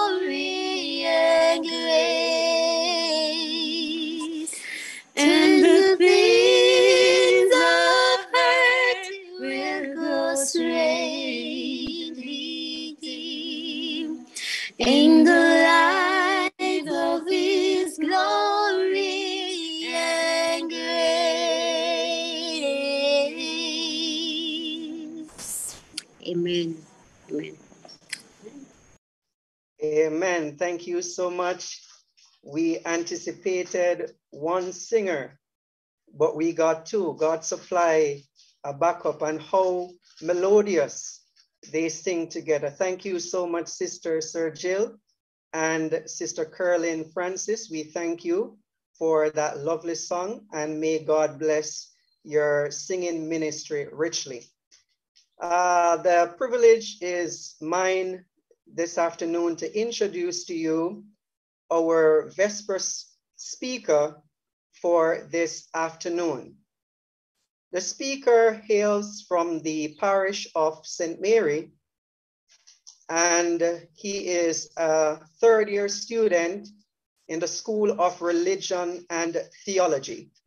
He's one who is very humble. He's one who is very friendly, very social. Every person get along with this individual. He's a young man who is passionate about the ministry. He's my good friend and my brother. I did say my good friend and my brother.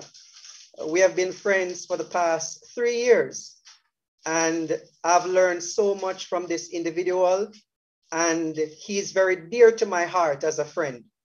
And I know that he has a word for us this afternoon. I speak of God's manservant, C. Andre Graham, who will bless our heart with the Vesper charge this afternoon.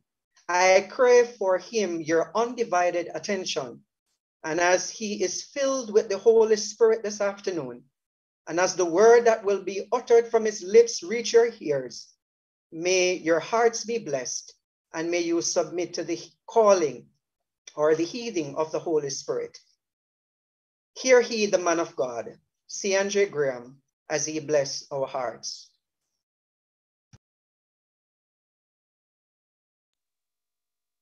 Amen, amen. I thank you so much for those words of introduction, Mr. Richard's brother, Richard's big brother, Ziggy.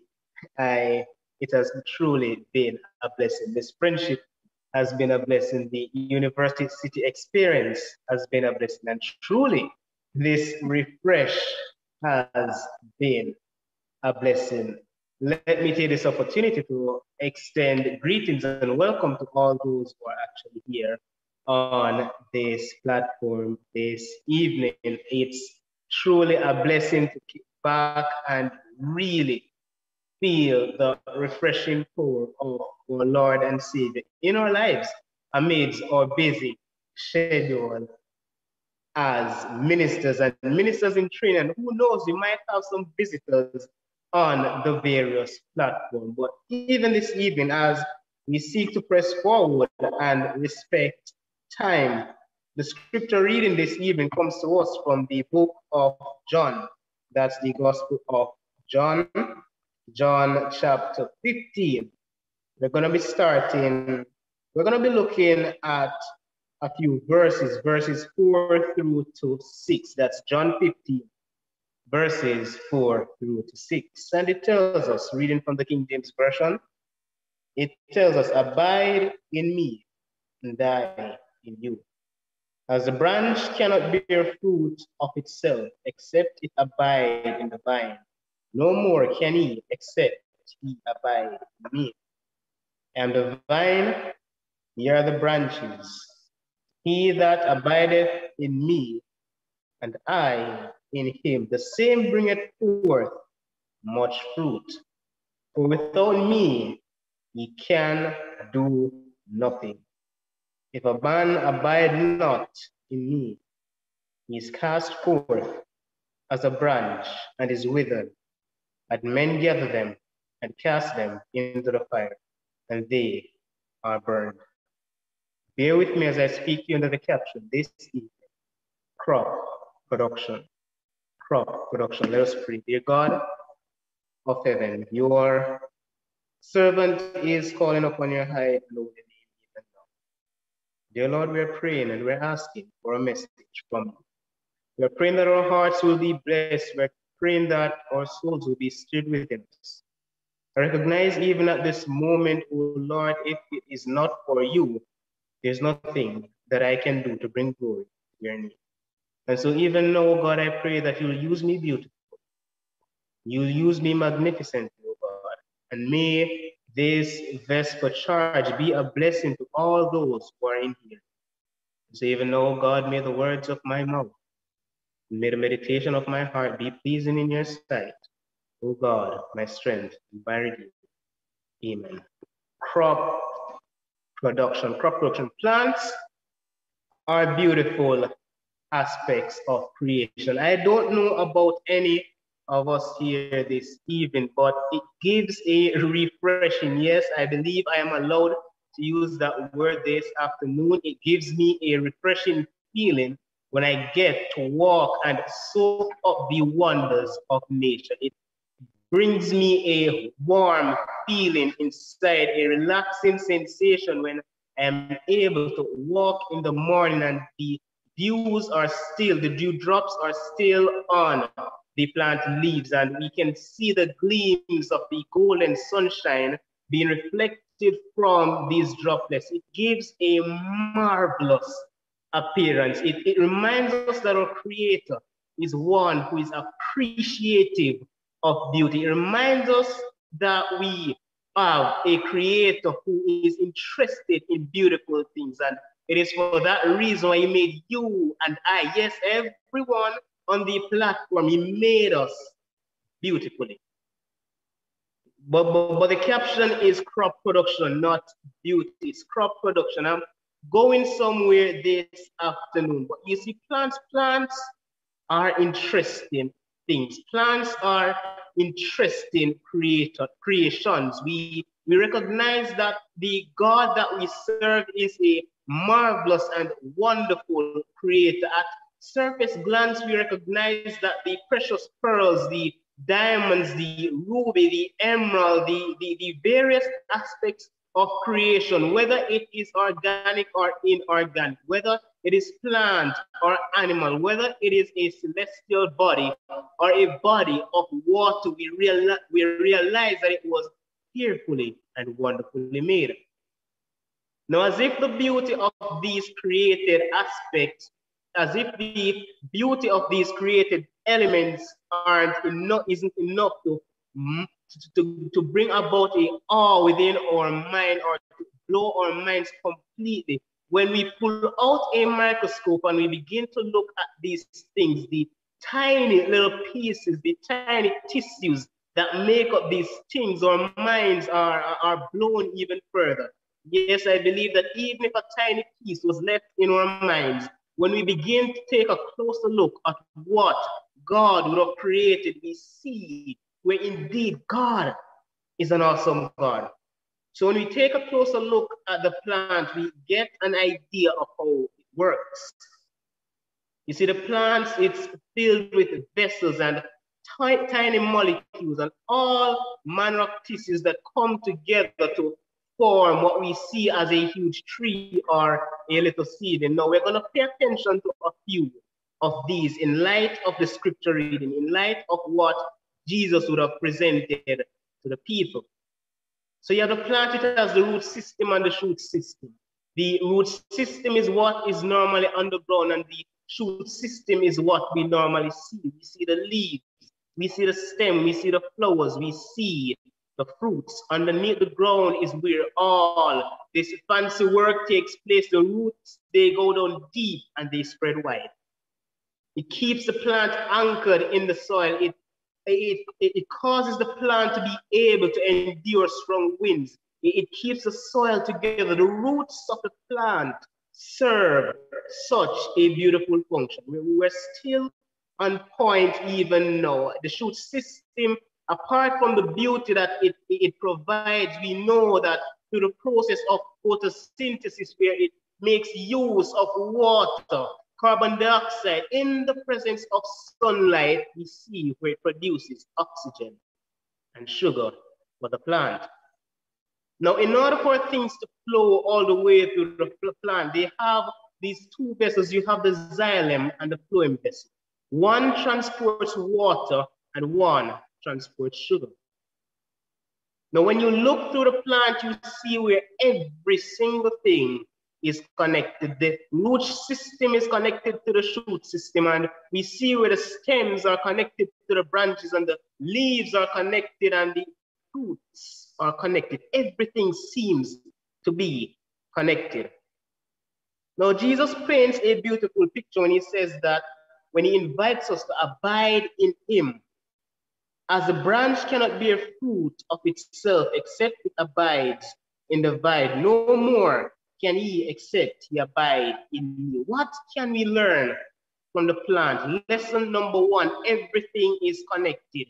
Anything that seeks to function independently of the rest of the plant will die. The leaf that is idly plucked from the tree by a child passing by, we see where over time it turns yellow then it turns brown, then it turns black, it becomes dead. So is the believer who isolates himself from a loving Savior who allows for sustenance flow in the believer's life.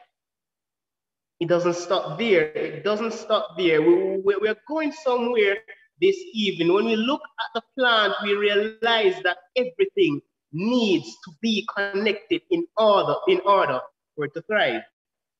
Now, permit me, if you will, to introduce you to this big, fancy word, a word, that, a phrase rather, that I'd call artificial vegetative propagation. Now, it sounds quite big and hard to understand, but that's just a fancy way of saying reproducing plants in an artificial manner.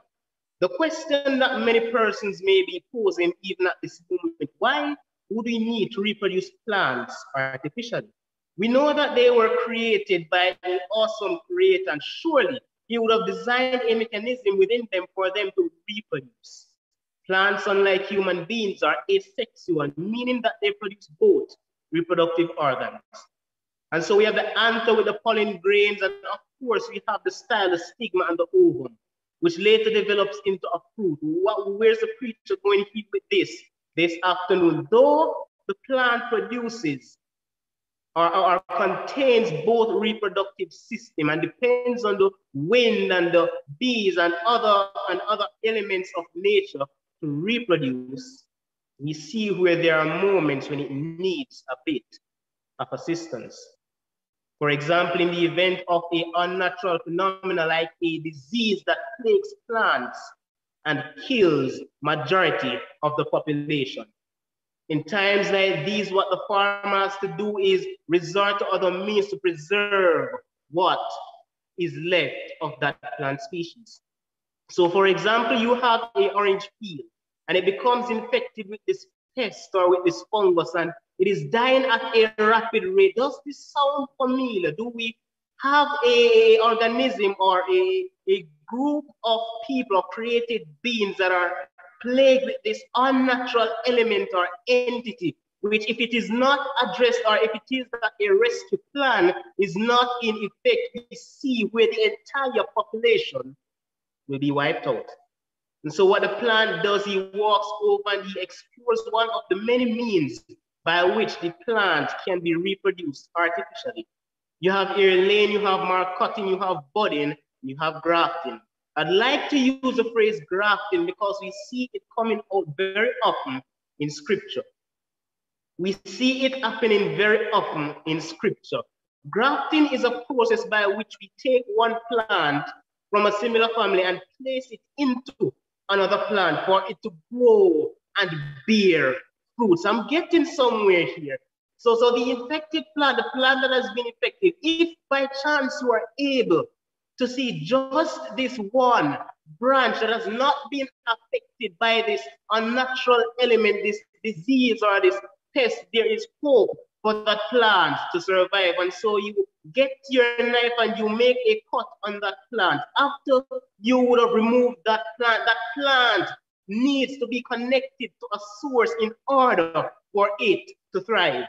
If it is not connected, we see where it will turn yellow, then brown, then black, and then dead.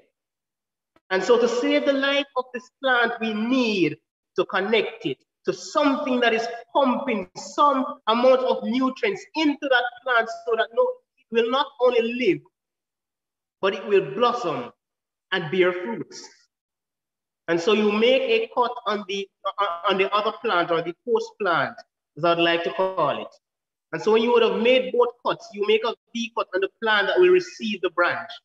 When you would have stripped off the outer bark of that plant, you strip off a portion of the outer bark of that plant that you are trying to save. And you see the outer bark is a bit tough. It hinders the process of the nutrients flowing into that plant. It hinders the connection process. Hello, does that remind us of something that the believer at times hold on to in his life? When we talk about pride, when we talk about ego, it, it stops the blessing, it stops the sustenance, it stops the way in which God wants to come through for you and I. We have to, like the farmer, strip away from pride. We've got to strip away the ego. We've got to lay ourselves bare so that God can make that connection that will save our lives from that unnatural entity that I'd like to call sin. And so after the connection would have been made to that host plant, we see where the farmer pulls for another item that I call the budding tape. You see, that tape is there for a very specific reason. I'd like to compare the budding tape to the love of Christ. The budding tape is what is wrapped around the union of both plants. After both plants would have been united, we need to keep out unwanted elements. We need to protect it from the intense rainfall. We need to protect it from the intense sunlight. And of course, we need to keep it firmly secured into the slot that it has been placed. And the love of Christ is what keeps us connected to Him. His goodness, as one songwriter would put it, keeps running after us, even when sometimes we are quite stubborn, even when sometimes we are running in the opposite direction. Don't believe for a moment that you can outrun the love of Jesus. We're talking about a one who saw it, not robbery, to be equal with God, but made himself of no reputation. He came down to live among us. He came down to teach us, to re-educate us of the way to godliness, to show us that indeed there's a God in heaven who loves us with an everlasting love. He lived among us. He died for us. He's risen and he's interceding for us. His love is like a budding tape that keeps the union strong. And so when that plant is up the host plant, we see where nutrients begin to flow into that plant that would have been rescued. Does this speak to someone here today? Was someone living in a particular environment that is plagued? Was someone living in a, in a environment that, that seems as if they could not survive the various unnatural elements that seek to stifle their progress? Might I suggest to someone that the Lord is able to reach out and rescue you? As he would have proclaimed about Zechariah, where he, he, he would have spoken of him as a branch that was plucked out, or a brand rather, that would have been plucked out of the fire. He can do the same for you and I. He can remove you from your toxic circumstances. And when he removes you, he doesn't leave you to die. Rather, he hooks you up on life support. And when he hooks you up on life support, he wraps you around and around with cords of love that cannot be broken. And so when he hooks you up to the parent plant, we see where nutrients begin to flow into the believer. And so now we begin to understand what Jesus was saying, where he was going when he encourages the believer to abide in him. In verse 1, he would have started out by saying, I am the true vine, and my father is the husbandman. Every branch in me that beareth not fruit, he take it away. And every branch that beareth fruit, he pruneth it, that it may bring forth more fruit. So we see where even though some might be connected to the host plant, there are those unproductive branches. We see where there are some of them that produce no fruit, even though they would have been rescued, even though they would have been wrapped in, in, in, in cords of love, still they produce no fruit. And it tells us that these individuals or these fruitless branches will be cast into fire. But in order for the individual or in order for the branch to bear much fruit, pruning needs to take place. Pruning is something that needs to take place in that there are unwanted elements in the life of the believer that needs to be removed. Backbiting needs to be removed. The politics the ungodly politics, might I put it that way, needs to be removed, removed so that the individual can remain connected with every other branch that is connected to the true vine. Because you see, we're not the only ones that have been rescued. It's a large rescue plan to rescue as many plants as possible. You and I are but just pieces, but just branches of rescued plants. And a part of being productive, a part of bearing much fruit is remain in connection or remain connected with the entire plant. And so much bearing we are required, we are expected to bear much fruit after we would have received such tender love and care from our Lord and Savior as I seek to wrap up, as I seek to wrap up the remaining verses that were read for the opening scripture, it says in verse 5, I am the vine, ye are the branches, he that abideth in me, and I in him the same, bringeth forth much fruit. For without me he can do nothing. If a man abide not in me, he is cast forth as a branch and is withered, and men gather them and cast them into the fire, and they are burned. You see, a part of bearing much fruit, we are expected to bear much fruit in, in, in regards to what God has called us to do. If we are soaking up the blessings which are being transported into us as members of the entire plan, it's expected for us to bear fruits. Why do we need to bear fruits? It's through the bearing of fruits that plants reproduce. It is through the bearing of fruit that the entire population is not wiped out. We're expected to bear fruits and to testify and to witness based on the gift that we would have received through the Holy Spirit. Whatever, maybe the fruit that you're expected to bear is teaching.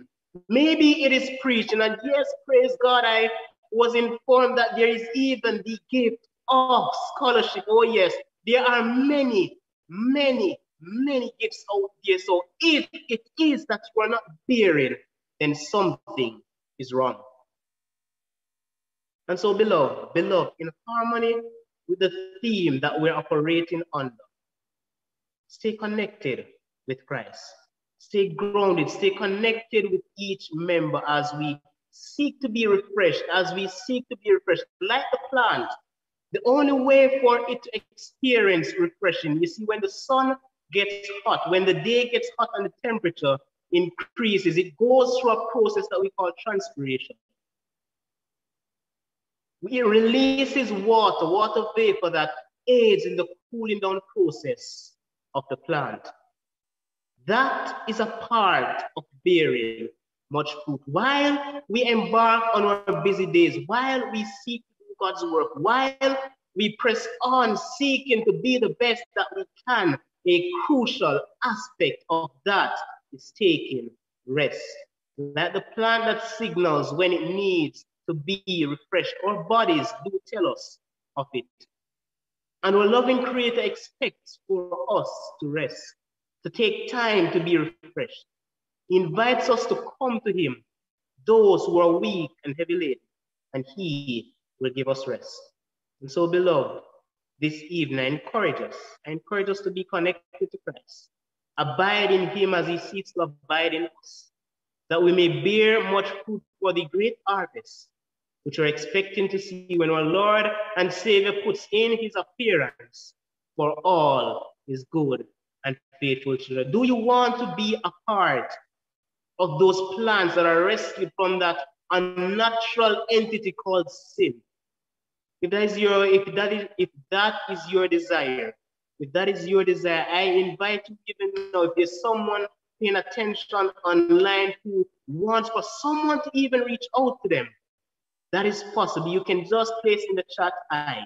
But for each and every single one of us here on this platform who feels as if the world is crumbling down because you're overwhelmed with all that's happening all around you. Our loving creator, he understands, he identifies with us. And so it is for that reason that at this moment I invite us to bow our heads as I reach out to him, asking for him to be with us, bless us, and to refresh us even on our journey as his precious children. Let us pray. Dear God of heaven, we thank you for this message. We thank you for the reminder of how important it is to remain connected with you, to abide in you always. And so even now, oh God, I pray and ask that you with us. Bless us. Many of your children at this moment, young, old, are in need of rest sweet quality rest that eight hours in the night is unable to give, but rest that only you, O oh Lord, only a loving creator is able to give unto his precious creation. So that's our asking, that's our plea. Keep us strong, keep us safe, refresh us even now, is my friend asking. May we all be found faithful, bearing much fruit on that day when you return to take us home. This is my friend asking in Jesus' name.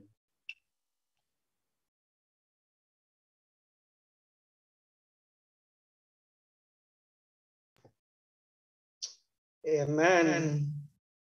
What a word. What a word. We thank Minister C. Andre Graham for allowing the Spirit of God to use you mightily. And if there is ever a time when we need to be connected, I believe the time is now. With that being said, we're going to sing our closing song, after which I will pray. So turn your hymnals to hymn number 50, and that is Abide with Me. That's hymn number 50, Abide with Me. I'll sing it in your hearing while you sing with your microphones mute. Abide with me, fast fall the evening tide. The darkness deepens, Lord, with me abide. When others helpers fail and comfort flee, help of the helpless, oh, abide with me. Swift to its close, eeps out life's little day.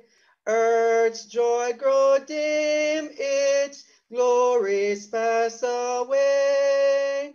Change and decay in all around I see. O thou who changest not, abide with me. I need thy presence every passing o'er. What but grace for the tempest pour? Who light thyself, my God, and stand can be?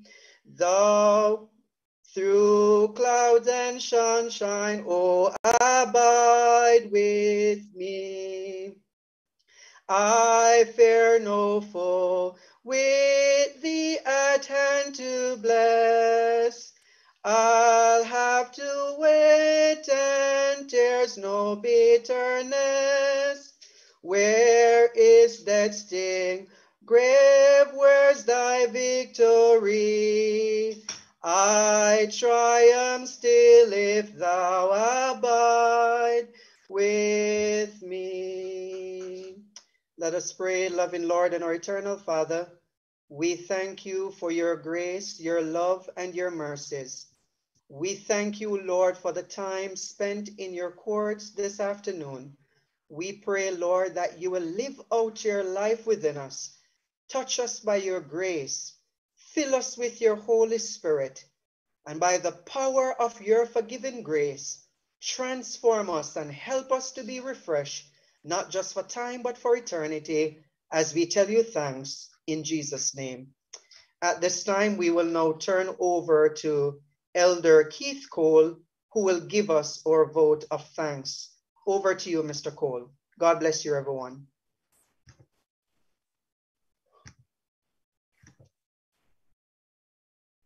Amen and amen. Truly, that was a wonderful message.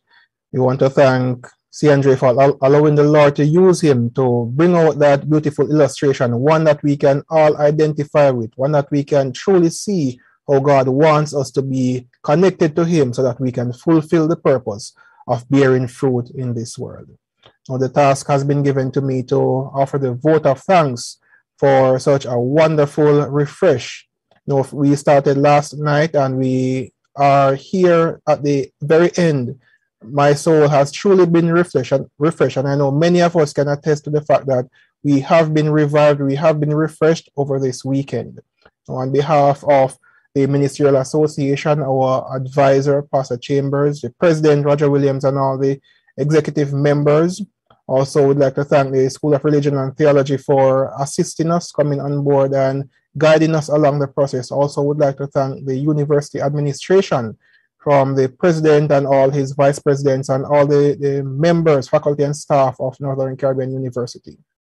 Want to say a special thank you to our presenters, Last night we had pastors Nevins, Richards, and Walker who basically guided us through our theme for this weekend and they anchored the message and brought out the spiritual aspects that we can all take comfort and hope in. I want to thank all those who participated last night, all our participants from for Vesper service, also this morning for our Sabbath school program. I want to thank Ella Beckford and his team. Also would like to thank Dr. Gregory for giving that wonderful presentation regarding time management. And, know, and I, I must confess here, I'm sitting in one of his class and I see Byron Anglin online. If one person comes to class and Doc is there, he's going to start. So Doc, Dr. Gregory is a man who lives by his principles.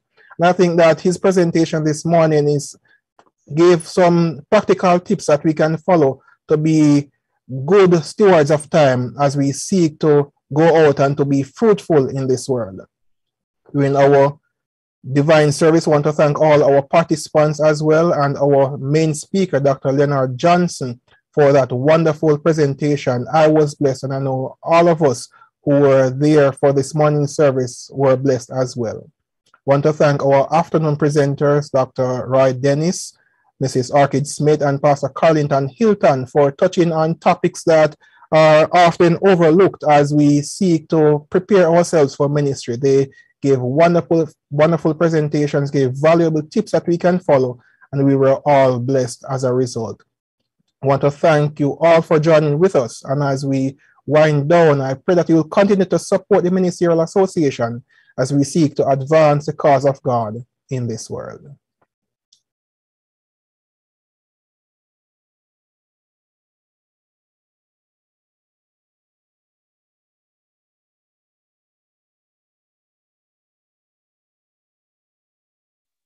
Amen.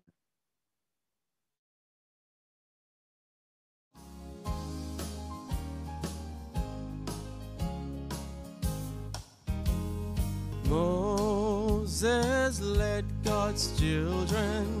Forty years he led them through the cold and through the night. Said, Let's turn back, Moses said, Keep going. Canaan land is just inside.